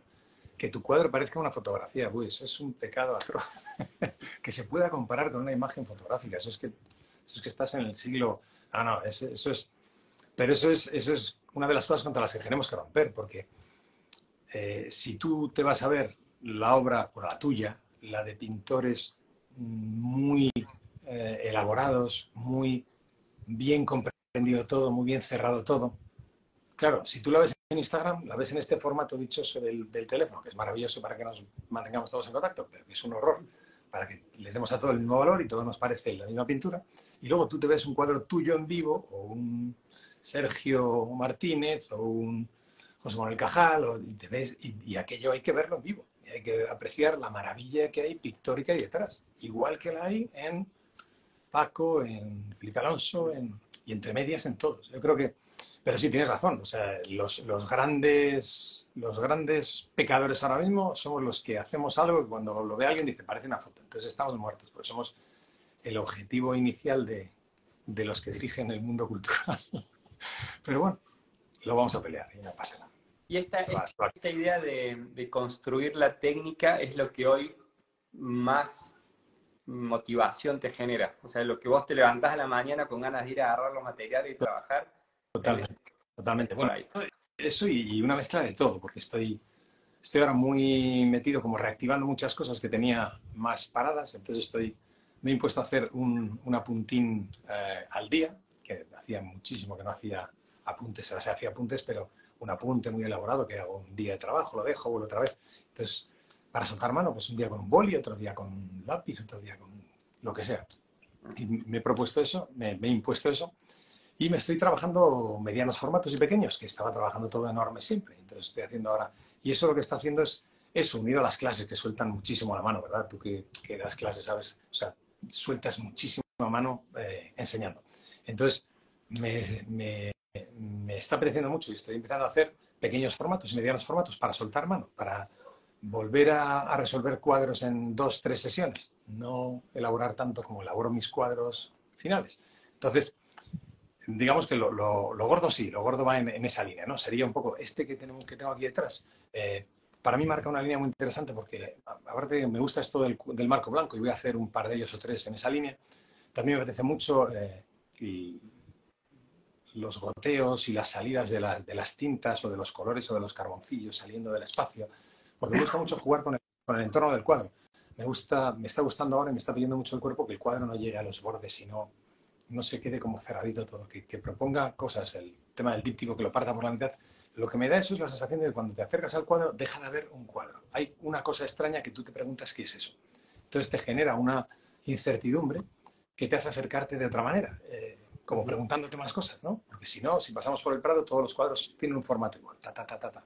Pero si de repente uno tuviese un formato extraño, dirías, ¿qué pasa aquí? No, pues me apetece mucho esto, me gusta mucho hice grabado en la facultad y entonces me gusta mucho el concepto del espacio que genera el papel por el alrededor o la tela. Y entonces estoy jugando mucho con eso y, ahora estoy trabajando en uno que es una, uno grande, más grande que este, que es en color, desnudo en esta línea. Entonces, eso es, esa es la línea en la que más trabajo en lo que, en lo que acabamos de hablar. El, el, investigar en cada cuadro a ver hasta dónde lo sé llevar, porque aquí digamos que estoy, estoy un poco en pañales. O sea, cuadros de estos que yo considero, porque hay algunos que tienen un pequeño gesto de ruptura, pero que realmente tengan algo ya potente, pues a lo mejor he hecho tres o cuatro cuadros. Entonces estoy arrancando, entonces estoy tanteando y lo, que es, lo único que puedo decir es que disfruto muchísimo. Que el proceso del cuadro se vuelve una cosa muy bonita porque, porque no sé lo que va a pasar y cada día es una aventura muy interesante al enfrentarme al cuadro o al dibujo. Después te propongo, no, no todavía, pero antes de terminar la charla, si nos podés mostrar esa obra que estás sí, citando, sí, porque está y tengo muy... Perfecto, Vemos solo un fragmento. Y con respecto al, al, desnudo, que era una pintura color que ganó la mención de honor de figurativas en el 21, eh, ¿me contás un poco cómo fue esa técnica? Hmm. Ese es, es, un poco el primer cuadro, un poco de ruptura. Además, lo curioso es que hacía bastante tiempo que no hacía desnudo, entonces combinar la vuelta al desnudo fue una sesión, dos, tres sesiones de fotos muy interesantes, pero me costaba encontrar una que tuviese fuerza y al final el formato es muy alargado y, la, imagen tenía mucha más luz por arriba, tenía, la habitación tenía un, tramo de luz por arriba y yo se lo, se lo, volví todo oscuro para centrar toda la, toda la información en la figura, en el cuerpo de, de la mujer, de mi mujer. Y, y entonces eh, fue un trabajo, me planteé, mm, voy a hacer un, desnudo, voy a ir sin miedo para presentarlo al MEAN, para presentarlo a figurativas, ¿no? Era, Esto debería ser principios de 2021, yo no sé cuándo se tenía que entregar, pues a lo mejor se entregaba en junio, pues debía empezar en enero o febrero. Y entonces fue un proceso de, de tanteo, entonces en este, el principio del cuadro, tengo fotos de la secuencia del cuadro, siempre hago fotos y vídeos. Y la verdad es que al principio era muy flojo, era a mí me, me, hizo dudar, llegué a pensar, bueno, vale, para, déjalo, eh, en, otro, en otra ocasión, ¿no? porque no, no lo veía avanzar correctamente. Pero claro, cuando tú, a la vez que avanzas, rompes, hasta que no tienes un poco el concepto más asentado de cómo hacer eso, joder, la primera vez que rompes dices, si me lo he cargado, si, he roto lo que había. Entonces hay que, hay que comprender que, que, lo que tú tienes es que romper sin miedo, si no pasa nada, lo que está ahí no se te va a ir. Yo sé mm. que los, con los alumnos me pasa mucho, te pasará a ti eso es que si, si hago esto se me va a ir, si el ojo ya no se va a ir, si ya tenemos todos los referentes, está la ceja, la nuca, todo, perdón, la sien, no, no se va a ir. Pues esto. Entonces, cuando fui perdiendo el miedo y en este proceso empecé a soltar más, a perder el miedo, a meterme con los claros en los oscuros, a gotear, a, romper las luces y a romper las sombras. Que al final es de lo que se trata, de que, de que no se creen compartimentos estancos, no está el ojo por un lado y, y el pelo por otro. Si la luz está pegando a todo, igual. Entonces tú puedes meter un trayazo de veladura maravilloso, cruzando todo eso, que inicialmente dices, ya me he cargado el ojo. No, no, no. Lo que has hecho es generar una magia maravillosa que ahora tienes que modelar, quitar, poner. Entonces, yo en cada sesión me centraba un poquito. Primero, digamos que lo más ingrato de este proceso es la parte inicial, ¿no? Porque el lienzo en blanco, bueno, en cremita o lo que haga cada uno, hasta que no está, digamos, una, una mínima base, pues es más hostil, ¿no? El cuadro, eso pasa siempre. Pero, pero bueno, en cuanto está un poquito construido, ya te permite todo, ya te permite lijados, disolventes, añadir trazas de color, todo. Entonces yo iba jugando con todo eso sin miedo, era la clásica cosa que no tenía presión, pues si estás haciendo un encargo o algo así, tienes alguna presión de fecha, pero yo pensé, si llego, lo mando, si no llego, no lo mando. Y llegó la fecha, no lo tenía terminado, claro, como pasa siempre. Entonces, en el punto en el que estaba, trabajé la última semana para dejarlo mm, que, estuviese equilibrado para, para mandar la imagen. Entonces mandé la imagen, me, lo aceptaron y entonces continué rompiendo, quitando, moviendo y, y yo creo que ahí salió la magia la magia final, que, que, es una cosa que se produce de una forma muy bonita, muy, muy, muy gratificante, porque se va sumando.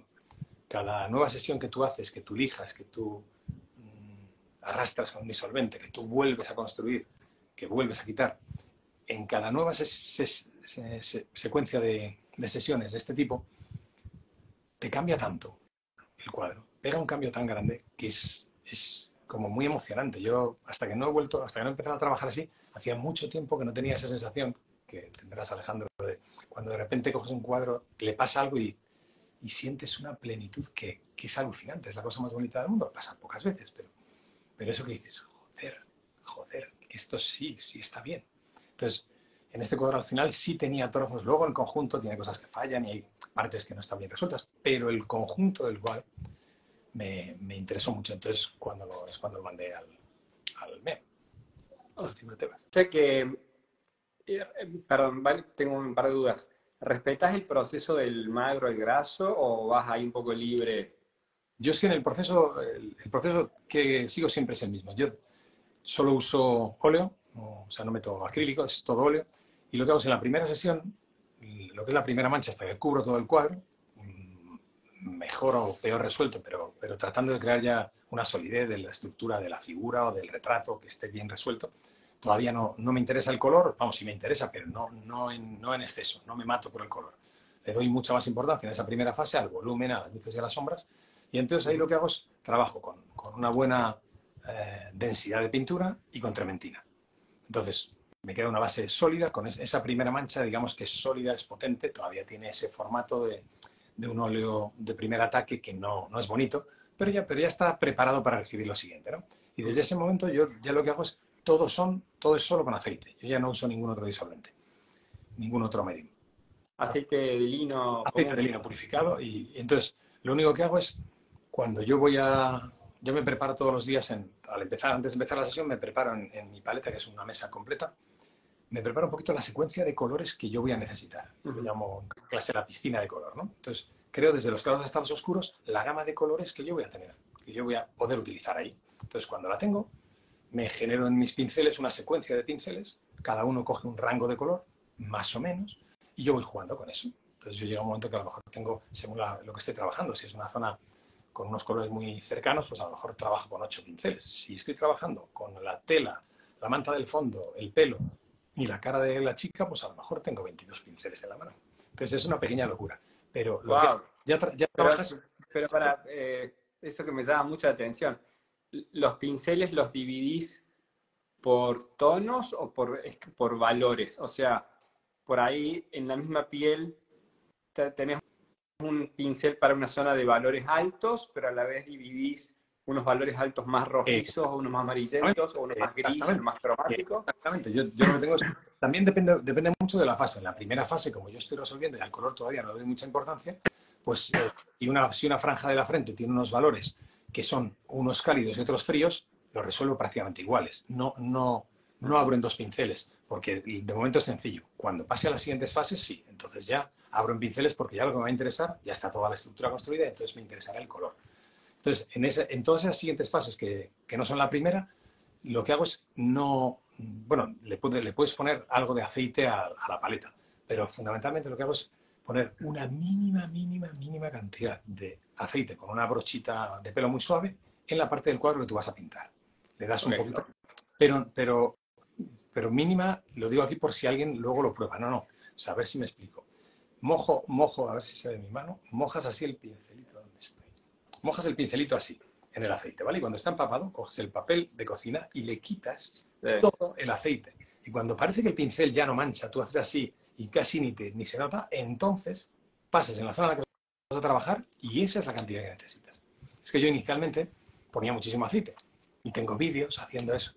Y es un error porque no te aporta nada bueno y sí te trae problemas. Pero lo he aprendido con el tiempo y no puedo... Porque después empieza como a repeler. Exacto. No, claro, primero se acumula mucho aceite y eso es malo en dos sentidos. Primero porque, claro, porque repele las siguientes capas, pero sobre todo porque el aceite, tú piensas que, que, que, has quitado el aceite. No, no, el aceite se ha quedado ahí en las sucesivas capas con, mucho, con exceso de aceite que tú has usado y tú te olvidas del cuadro, el cuadro pasa meses y el aceite se va concentrando y oxidando en puntitos negros que te estropean el cuadro.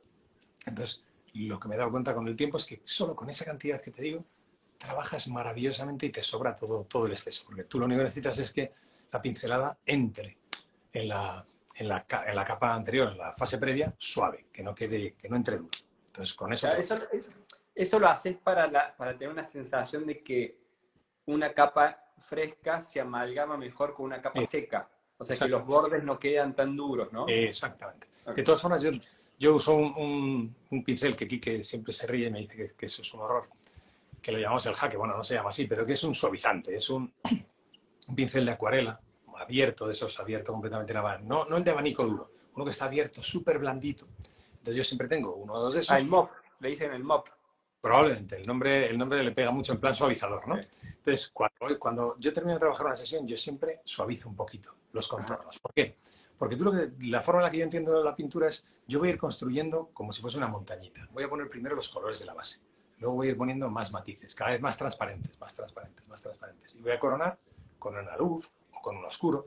Pero si, esa, si ese toque que corona no tiene todo lo que está debajo de él muy suavemente conectado, no va a funcionar. Va a ser muy duro todo y no va a hacer el efecto que tiene que hacer. Entonces, por eso tiene que estar hasta el final.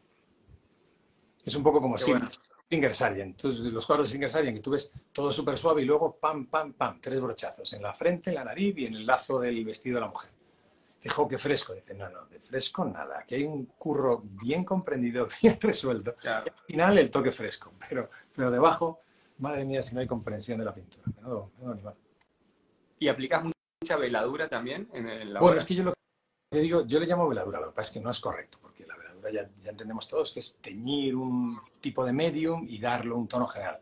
Yo en realidad le llamo veladura a todo el, todo el trabajo que hago, menos la primera sesión, porque al poner ese aceite, ya todo lo que tú vas a ir añadiendo al cuadro en cada sesión, nunca va, salvo que lo, salvo que tú lo quieras porque has cometido un error, tú nunca vas a tapar lo que has puesto en la sesión anterior. Lo que vas a complementario, complementarlo, enriquecerlo, sacar una luz por aquí, un oscuro por allá, meter un verde que te pide por aquí, meter una vela, un toquecito violeta. Entonces, o sea que nunca aplicas una capa opaca sobre una, a partir de segunda mano, nunca tienes una capa opaca, opaca. si te hiciese falta, pero es que en principio no tiene ninguna utilidad si tú, si tú vas a ir construyendo, subiendo paulatinamente hacia las luces o bajando hacia los oscuros, pero de una forma gradual. Salvo que tú hayas cometido un error y de repente digas, madre mía, si es que esta comisura se me ha ido, entonces metes opaco. Pero si no, yo, los opacos es un poco, es como que empiezas con ellos y luego vas perdiéndolos, perdiéndolos, perdiéndolos hasta que todo es pura transparencia. Wow. Y el medio siempre es aceite, no, no metes liquid o otras cosas. Es que yo, yo empecé con la mezcla clásica esta, el, el barniz, el aceite y, el, la trementina, pero claro, como yo hacía muchas capas, porque me gusta pasar muchas veces, claro, la trementina se evaporaba, el aceite se acababa yendo, y lo que se me hacían era, se me sumaban capas de, de puro barniz. Entonces llegaba un momento en que el cuadro estaba plástico, entonces le quité el barniz y me quedé con la trementina y el aceite. Pero claro, la trementina es un disolvente. Entonces, por poco que pongas en la mezcla, cuando yo había hecho una capa suave la anterior y ahora entraba a, meter ahí capitas de aceite con disolvente, estaba de alguna manera alterando la anterior, porque el disolvente, que es la trementina, se lo llevaba. Entonces, un día charlando con Ismael Fuentes, el pintorazo amigo mío, eh, me dijo, Jaime, ¿por qué no utilizas solo aceite, que es lo que han utilizado los pintores clásicos toda la vida? Digo, no fastidies, pintaban solo con aceite, esto hace 20 años o así, o 18, cuando vivía el hombre aquí. Y me dijo, claro, pues lo probé y ya estaba ahí, claro. Es lo más maravilloso del mundo y como es el medio natural. Pero en general, si vas a los, a los clásicos, por lo menos muchos usaban el aceite pesado del sol. Sí, sí, sí. Y muchos, y aceites con, con retardantes, que yo nunca lo he entendido, porque el aceite ya, el de lino ya te da unos tiempos de trabajo estupendos. Pero, pero sí, sí, es verdad que utilizaban cosas diferentes.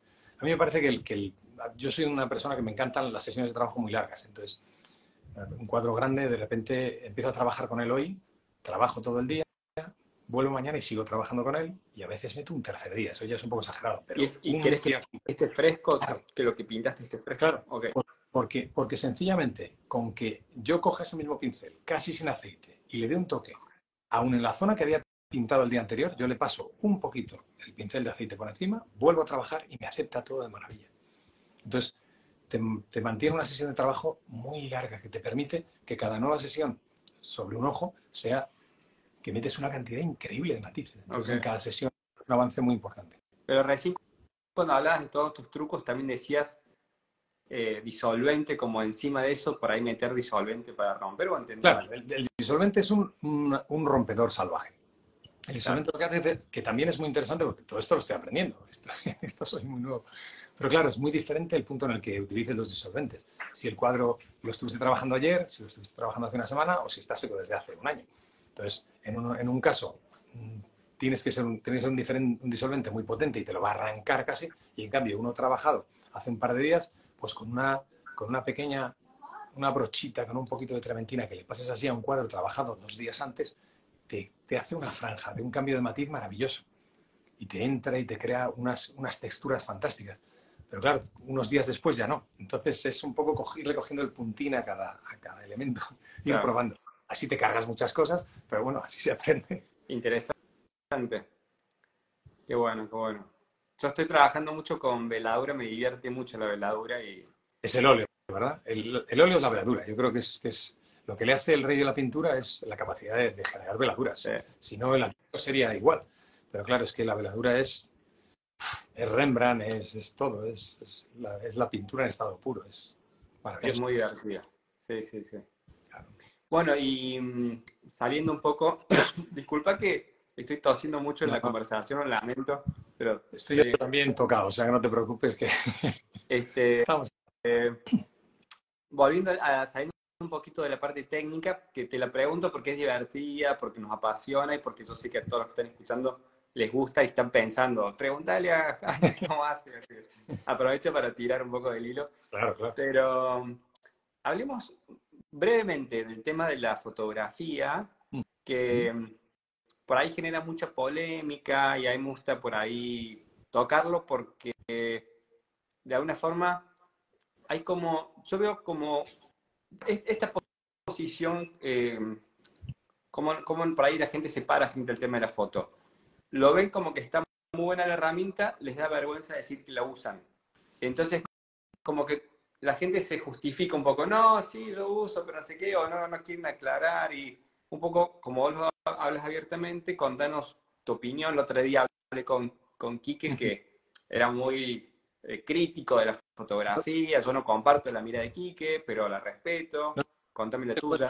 no te cuento las veces que he tenido con Quique esa conversación, que han podido ser 50 o 60. Además, ustedes juntos Claro. a todos lados. así Claro, pero si todas, todas las opiniones son absolutamente respetables, solo faltaba. A mí es que me parece que, desde mi punto de vista, a mí me da exactamente igual.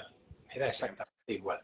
La fotografía es un referente que para mí, eh, para empezar, yo diría que esto es, estoy lanzando una cosa que puede ser una burrada, pero mm, a mí me cuesta pensar en un pintor que haya hecho toda su obra del natural. Un pintor eh, de formato de, cuadro de largo recorrido, no un pintor eh, ni a la prima, ni, ni de pintura rápida, o sea, un pintor de estudio.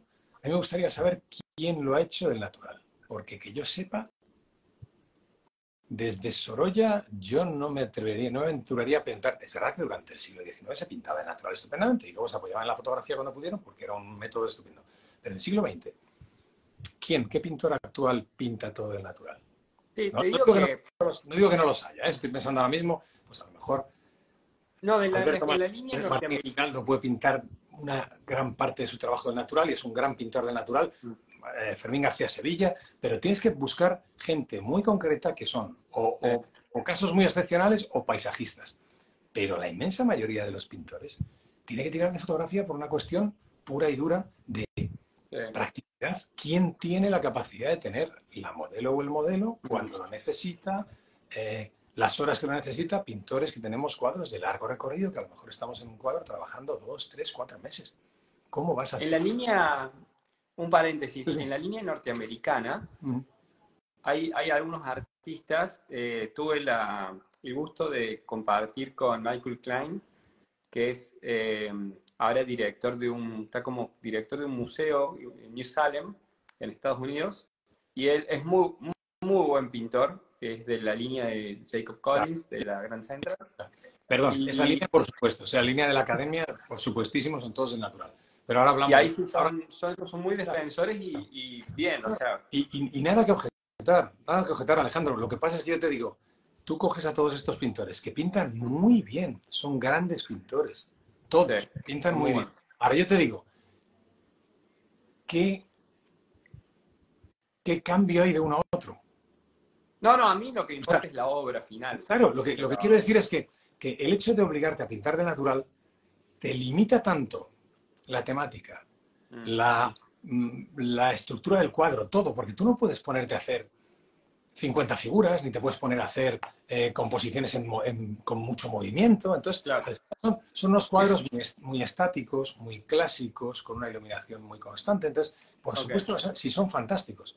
Pero es, es como cuando, cuando vas a ver en el MEAM el figurativas y ARC, entregándose a la vez. Y esos dos mundos en los que si, si el, el ARC se pinta maravillosamente, pero se ve que hay otra estética, otros intereses. Entonces, esta línea de, la academia para mí son pintores fantásticos y pasar por, por una academia para aprender, ahí tienes a Jordi Díaz Anamá, lo que hace que me parece fantástico y es un creador y un director de esto. Pero cuando, tú pones a toda esta batería de grandes pintores juntos, a mí lo que me falta es, con esta técnica tan buena, yo echo de menos que aquí haya que tú digas, ¿cómo? Qué impresionante esta propuesta de Jacob Konis, que se sale de lo normal. Todos los cuadros son fantásticamente ejecutados, pero si te pongo a ejecutarlo a este que tú has dicho no lo conocía, pero otro, otro de, este, de este estilo, de esta línea, son fantásticos, pero Sí. es que se se me, o sea, me falta lo, lo que, lo que encuentro cuando veo el figurativas y quedo con los pintores que conocemos y, Claro. y ves las propuestas que se están haciendo, que es lo que te permite, para mí, la libertad de la fotografía, porque la fotografía al final lo que te hace es abrir el abanico de pintar lo que a ti te parezca, Y acá, en lugar de acá, Jaime, te hago otro, otro paréntesis. Para mí, esta es, este es un punto interesante, ya, bueno, medio nerd de nosotros que estamos muy en este tema, ¿no? Pero como de analizar la, y comparar desde afuera las distintas corrientes, porque yo veo eh, la corriente norteamericana muy como al hombro de la Gran Central, muy técnicos, muy amantes Ujú. Del 1800, Bouguereau, toda esa Sí. línea. Y después tenés la línea española, más al, a cargar al hombro de Antonio López, más rompedora, más, ¿no? Y claro.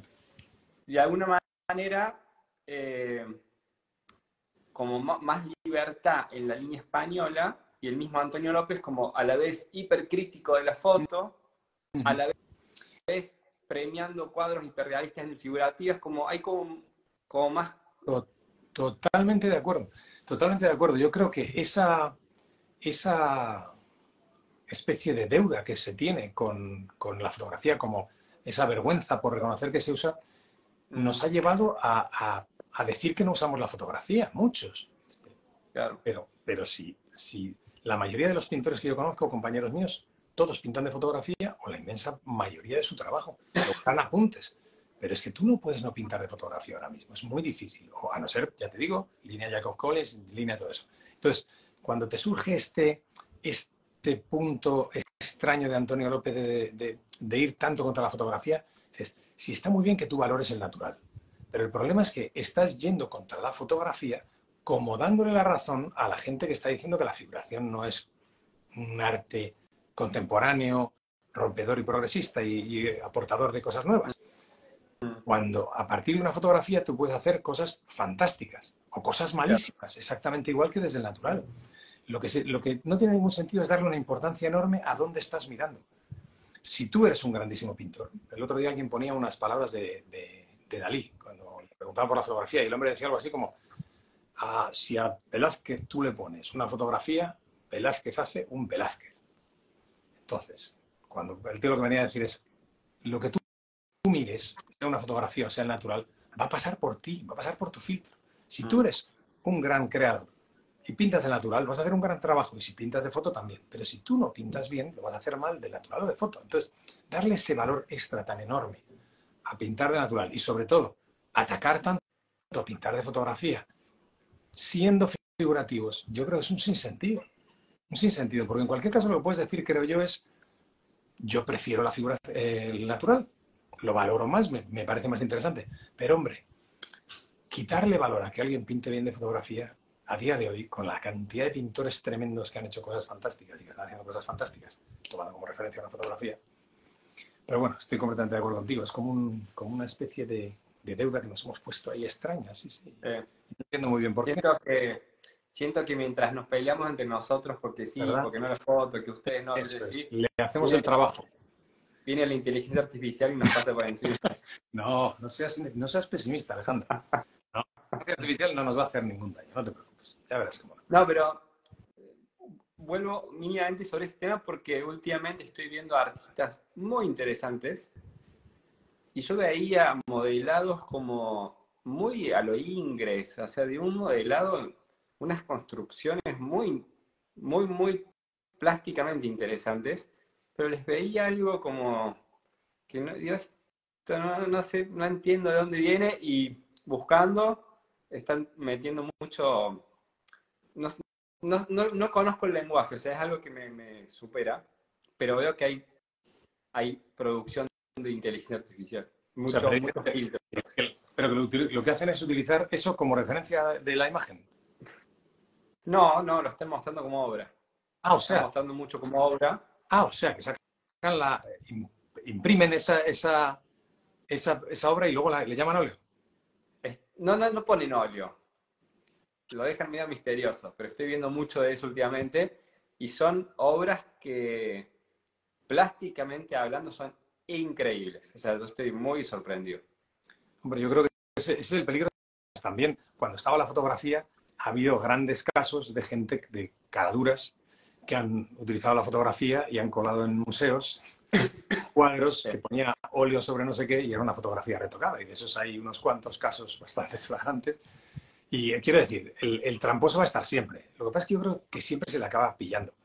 Entonces, eh, que obviamente la inteligencia artificial lo que va a hacer es que eso sea todavía mucho más atractivo, por lo que dices, claro. Bueno, yo creo que, que el valor de, de, la propuesta no nos lo va a quitar nada nunca.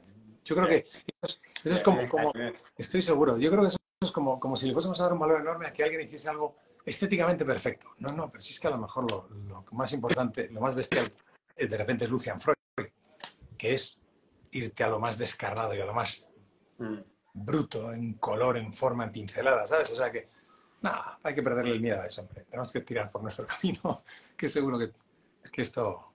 Jaime, y bueno, entonces, volviendo a la pintura, hemos hablado un poco de, eh, poniendo el foco en los términos que te lo decía recién, en la parte sintáctica, o sea, en los elementos formales de la obra, que si la veladura, la transparencia, la mancha, el aceite.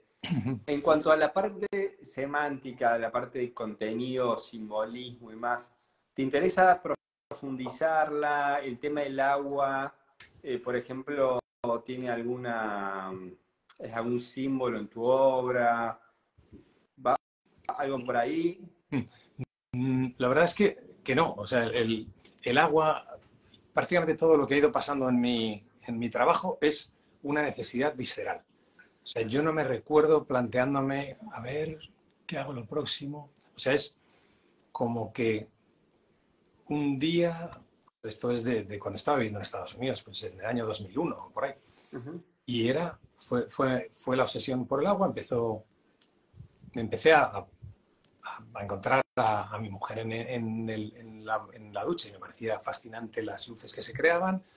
Yo al lavarme la cara por las mañanas decía, pero si esto es mucho más interesante lo que hay ahora en el espejo que, que, que cualquier retrato de los que he hecho, las manos al lavarme, todo. Entonces empecé a buscar, oye, vamos a generar por aquí, pero fue todo como una necesidad visceral, como que algo te, llama la atención. No, mm, yo no, no tengo en mi, en mi trabajo prácticamente eh, fondo filosófico. Yo creo que la parte, la parte filosófica para mí es la mente. Para mí lo más, lo más conceptual que existe en el mundo, para mí es un retrato, una cara. Una cara que te mira es lo más bestial que hay. A mí desde pequeño me han fascinado las fotografías de los periódicos, mm, en las que desaparecen casi todos los elementos y se, reduce todo un retrato de una persona, pues persona que van a, de, de dinero de no sé dónde y tú ves la cara y dices, pero qué fuerza tiene esto. Y, al final son una serie de puntos con lo más elemental y, te da toda la fuerza que tiene. Entonces, de alguna manera, lo que me ha mm, ido cautivando más después del, inicio con el tema del agua ha sido siempre la mirada, el, retrato, la cara, porque lo que, lo que entiendo es que ahí está como todo lo que uno pueda contar si yo mm, genero toda una, toda una imagen, que esto también es muy americano, ¿no? Crear un cuadro en el que ocurren muchas cosas, este hombre está haciendo no sé qué, este lo está recogiendo, entonces, entonces hay como una alegoría o contar una historia. Entonces, tú reúnes toda la información que está pasando ahí figura a figura y te da un, un mensaje. Tú te pones delante del Inocencio décimo, o te pones delante de un retrato de Chuck Close, o te pones delante de un vídeo de Bill Viola, coges una de esas caras y para mí eso ya no, no, tiene que haber ninguna, ninguna historia, no hay que contar nada. Es tan bestial todo lo que ocurre. Te genera tan, tantas preguntas, tanto quién será, por qué, qué, qué, quién es esta persona, qué le está pasando, por qué la ha pintado el pintor. Entonces, yo creo que para mí, cuanto más avanzo, en mi pintura más bestial me parece la fuerza del retrato. Entonces ahí es donde yo le veo toda la, potencia como, como, concepto. Ahora, sin ningún tipo de, de, reflexión previa a, no, ahora voy a hacer un retrato en el que quiero, busco esto. No, no, no, no. Yo es una cuestión totalmente visceral prácticamente todo lo que hago. Es esa imagen que me llama, porque es para que eso te llama, tú haces 200.000 fotos, eh, tienes no sé cuántos modelos, haces yo, yo no sé cuántas secuencias de, fotos hecho, de eh, sesiones de fotografía, que luego no he usado ni una fotografía, a lo mejor eran 3.000 fotografías, y no he usado nunca ni una ni para un apunte.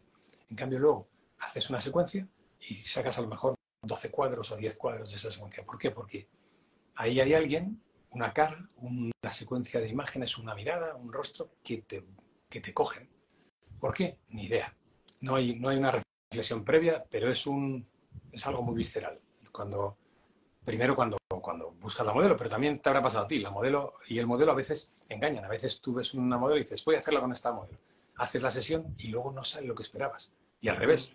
Al revés, yo tenido una, hay una modelo que, que mm, vino además por casualidad a la sesión y que he hecho por lo menos cinco o seis trabajos de ella. Y da, da una fuerza en las imágenes que yo no me esperaba cuando vino a la sesión. Entonces, ¿qué tiene, qué tiene esa imagen que te capta? No lo sé. Pero no, no, yo en, mi obra no tengo ningún tipo de, de, reflexión previa o de... No estoy tratando de aportar ningún concepto previo. Lo que aporto es porque me sale a mí de las vísceras. ese retrato es el que tengo que hacer, ese desnudo es el que tengo que hacer de los 50.000 que hice y además yo necesitaba hacerlo de esa manera, pero no sé por qué. La verdad es que no, no tengo en ese sentido. Soy un tío muy, muy simplón para eso. No, no, no, hay, una, no hay un proceso previo. Buenísimo. Ahora era de, curiosidad porque dentro de lo que es el simbolismo, viste, lo húmedo, lo, el brillo de lo tiene como toda una, una, carga. Sí, sí, mi madre es psicóloga, imagínate. Oye, Jaime, ¿y tú esto de la... Digo, no sé, mamá, no tengo ni idea. ni idea. Pero prefiero no preguntarle, que no me cuente qué significa todo esto. Bueno, entonces no, voy por ese camino entonces. No, no, sí, sí, todo lo que tú quieras. Yo, ahí hablamos lo que quieras, pero que, que yo es una cosa visceral que no sé exactamente de dónde sale. No sé si, si mi madre podría decir algo, pero quiero decir que no, no, no sé. Un día surge y te atrapa y te va llevando por caminos, porque todo esto es como algo dentro de ti que va tirando, y entonces te va abriendo, ahora, ahora esta línea me interesa más, ahora, y si aportamos esto, y si eliminamos esto, y si, y vas evolucionando en esa serie de propuestas, pero todo desde, desde las vísceras. Desde luego, nunca una cosa razonada previamente, por lo menos en mi caso. Sí, lo único que pienso es que por ahí te, lo entiendo como visceral en oposición a, intelectual, Exacto. Pero, pero no por ser visceral puede, dejar, tiene que dejar de ser simbólico. Exactamente, y puede ser muy intelectual en la lectura que haga la gente de esa imagen. O sea, uno no tiene que, darle una connotación eh, conceptual a un cuadro y explicarlo para que a la persona que lo vea diga, le vea, le saque un, valor conceptual tremendo. Entonces yo creo que, que, aunque tú crees desde algo que sale muy de, tus instintos, lo que se crea es tan conceptual como, como una, como esas, no me acuerdo el nombre del artista, que ponía una frase directamente.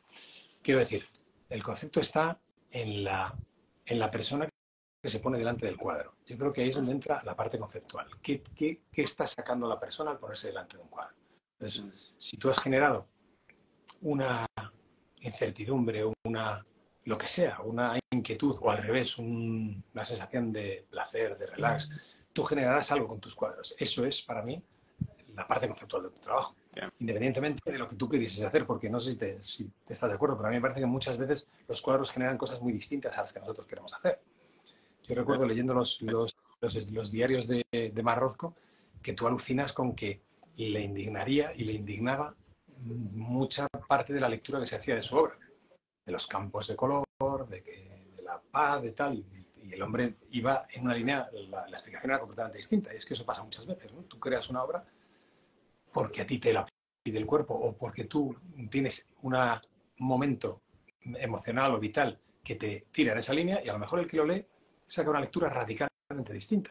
Pero eso es la magia del arte, no solo de la pintura, de, un libro, de un poema, de una canción. Bueno, Jaime, y bueno, un poco lo que me contabas era que a raíz de este cuadro que empezaste a experimentar con esta, este óleo de un desnudo femenino que ganó la mención de figurativas, ese sería como la obra bisagra que marcó un poco, con el que tenés ahí atrás, la, la línea, la dirección de lo que estás trabajando ahora.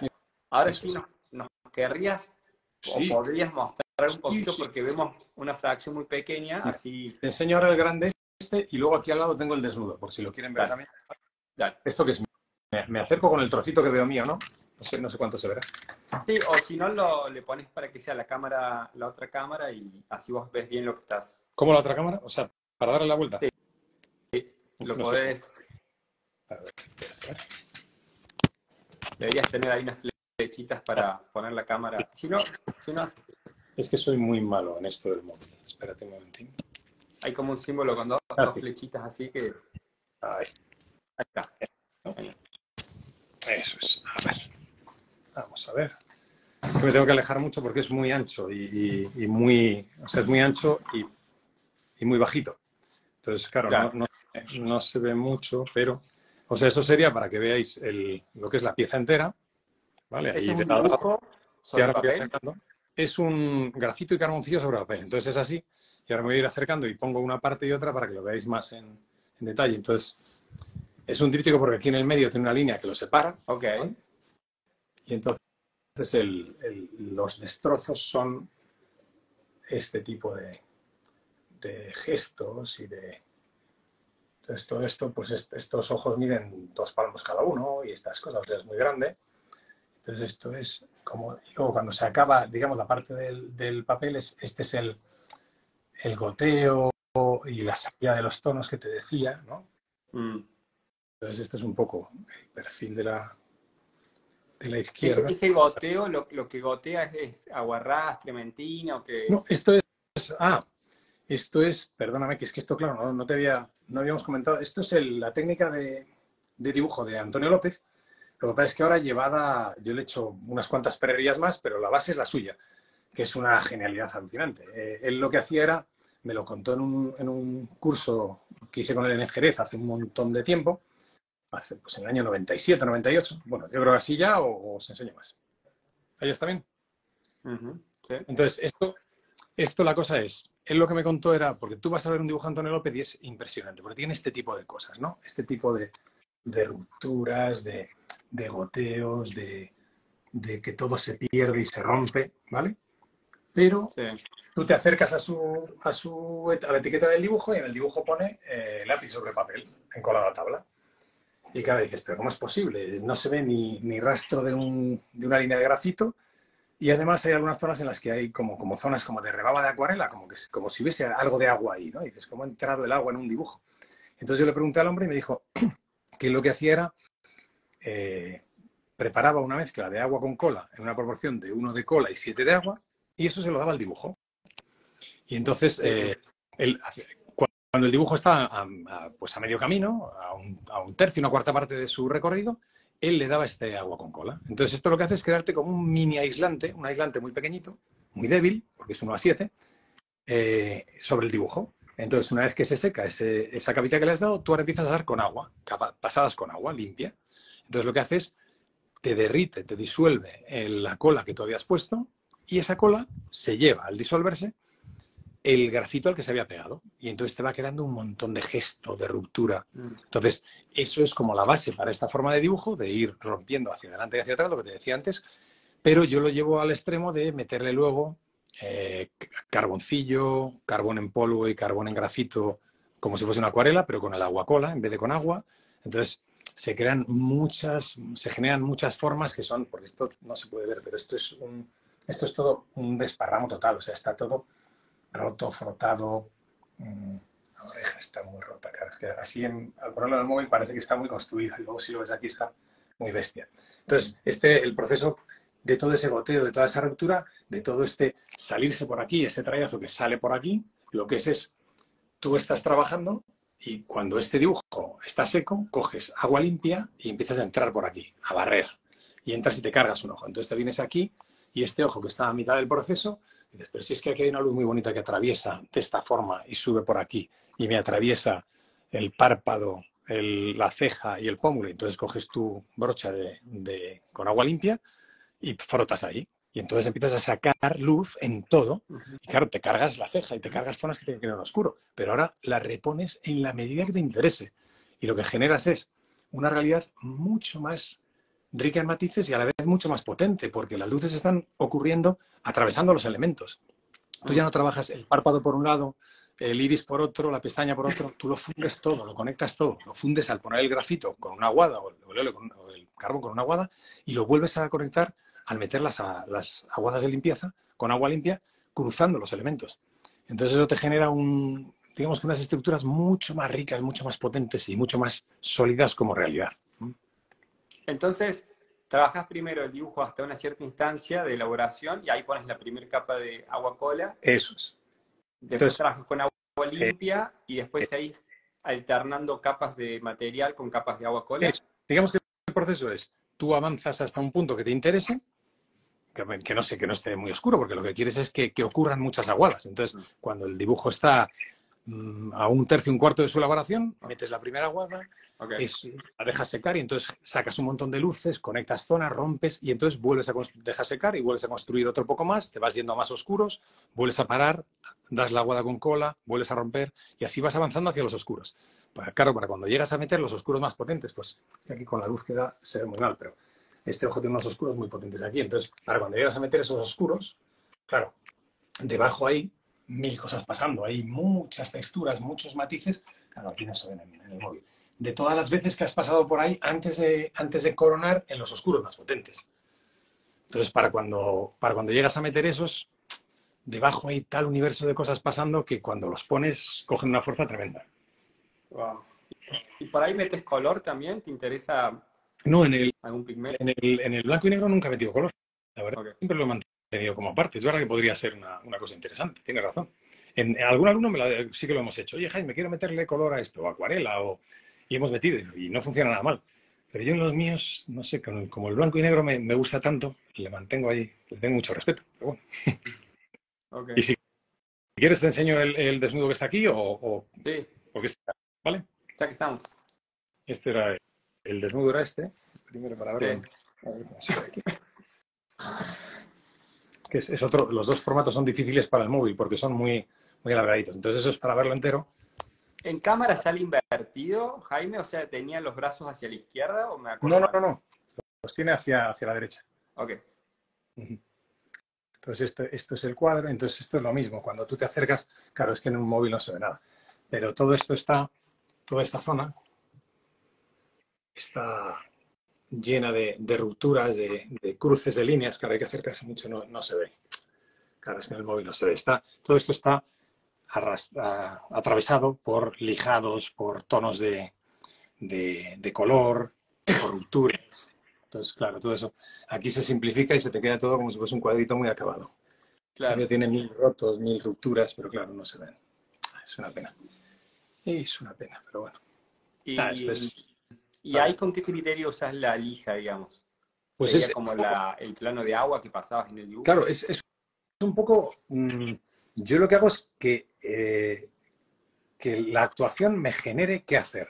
En lugar de decir, no, ahora voy a, voy a romper esta parte de la cara. Yo hago un poco el bestia y me va diciendo qué, qué tengo que hacer. Yo, inicialmente, si llegas y dices, por ejemplo, esto estaba muy duro, esto lo tendría que haber roto más, ¿no? Esa línea. Pues esta de aquí. Esa de arriba, la de- el brazo. Pues ahí haber roto más a lo bestia y entonces eso, en el momento en el que tú rompes toda esta estructura, la ruptura que generes te va a decir qué hacer, porque como te va a incorporar color y te va a romper la secuencia que tú tienes, la relación de tono que tienes, lo que te pasa es que inmediatamente dices, uff, no, no.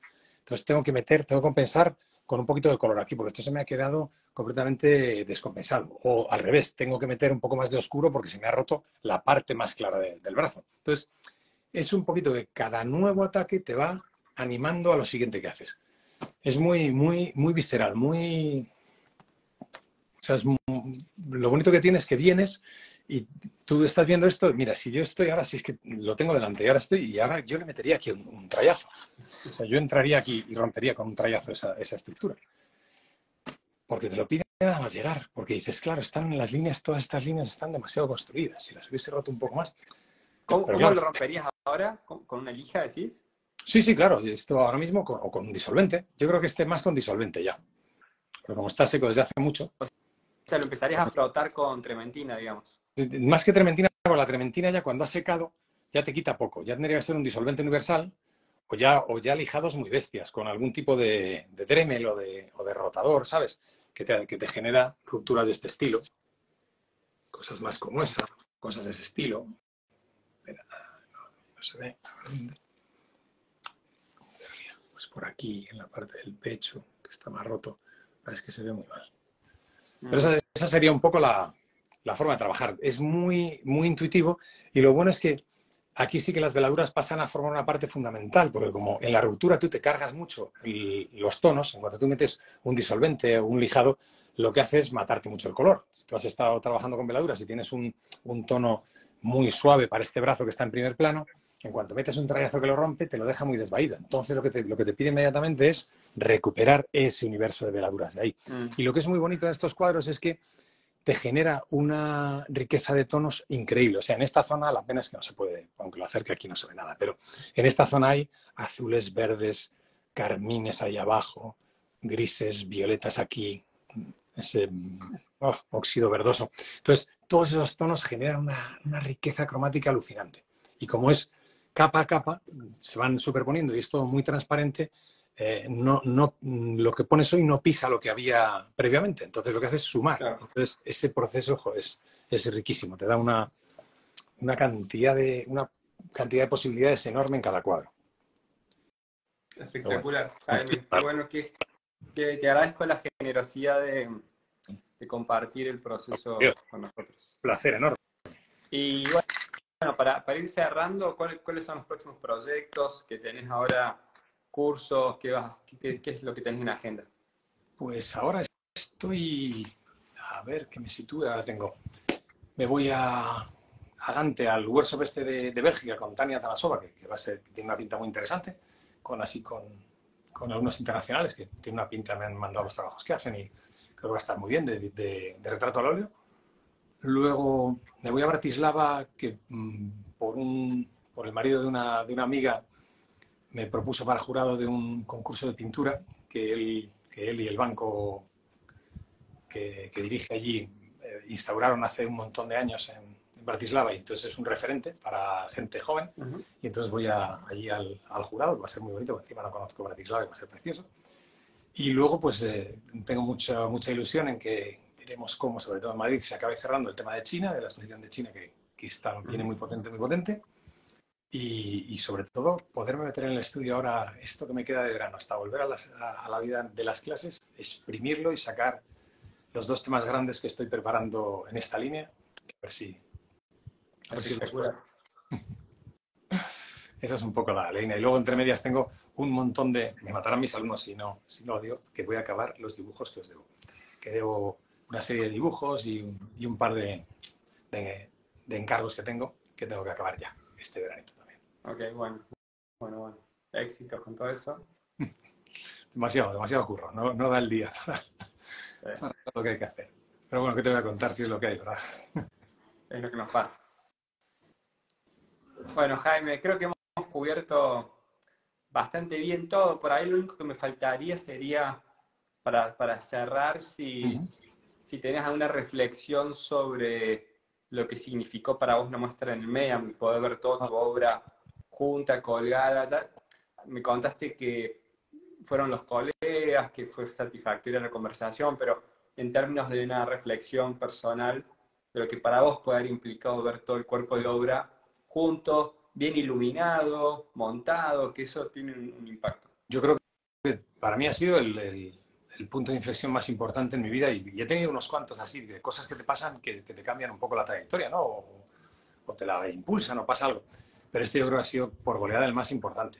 Primero por todo el proceso de, gestación del proyecto con Quique, con José Manuel Infiesta, que ha sido un, proceso maravilloso, con, con, mucho, con mucho cariño, con muchas ganas de que saliese una gran exposición y al final ha salido un, un proyecto tremendo.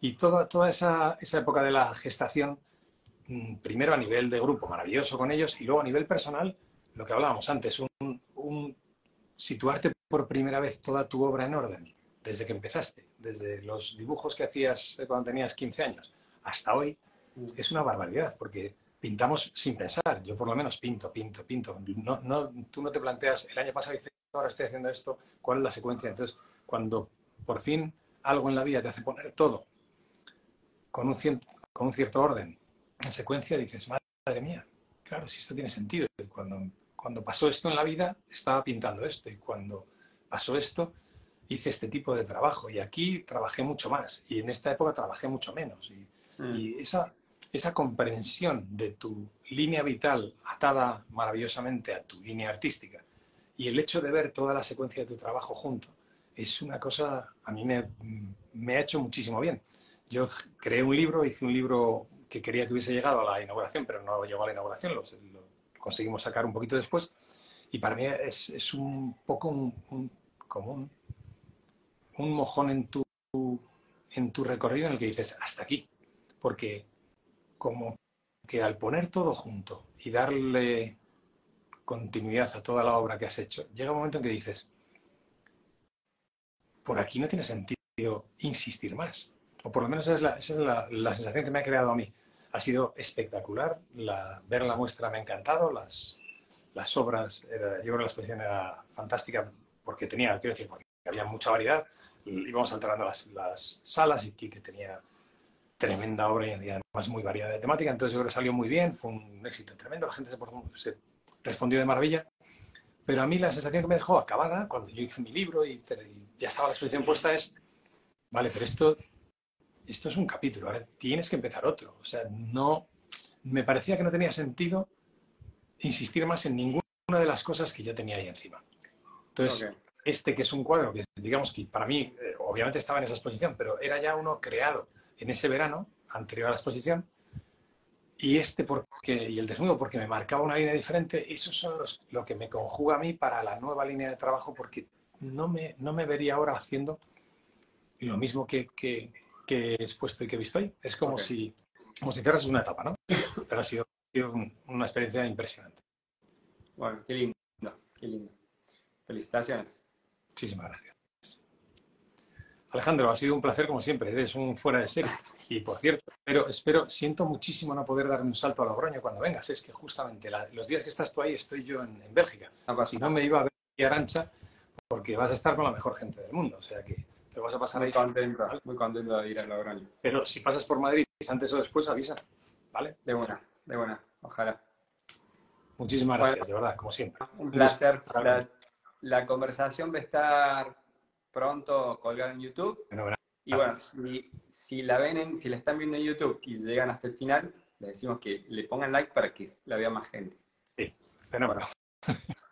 Un placer, gracias y gracias por acompañarnos. Mucha gente nos estuvo acompañando. a ti y a toda la gente que está, de verdad, de corazón. Muchísimas gracias. Un gran abrazo. Un abrazo enorme. Cuídate mucho.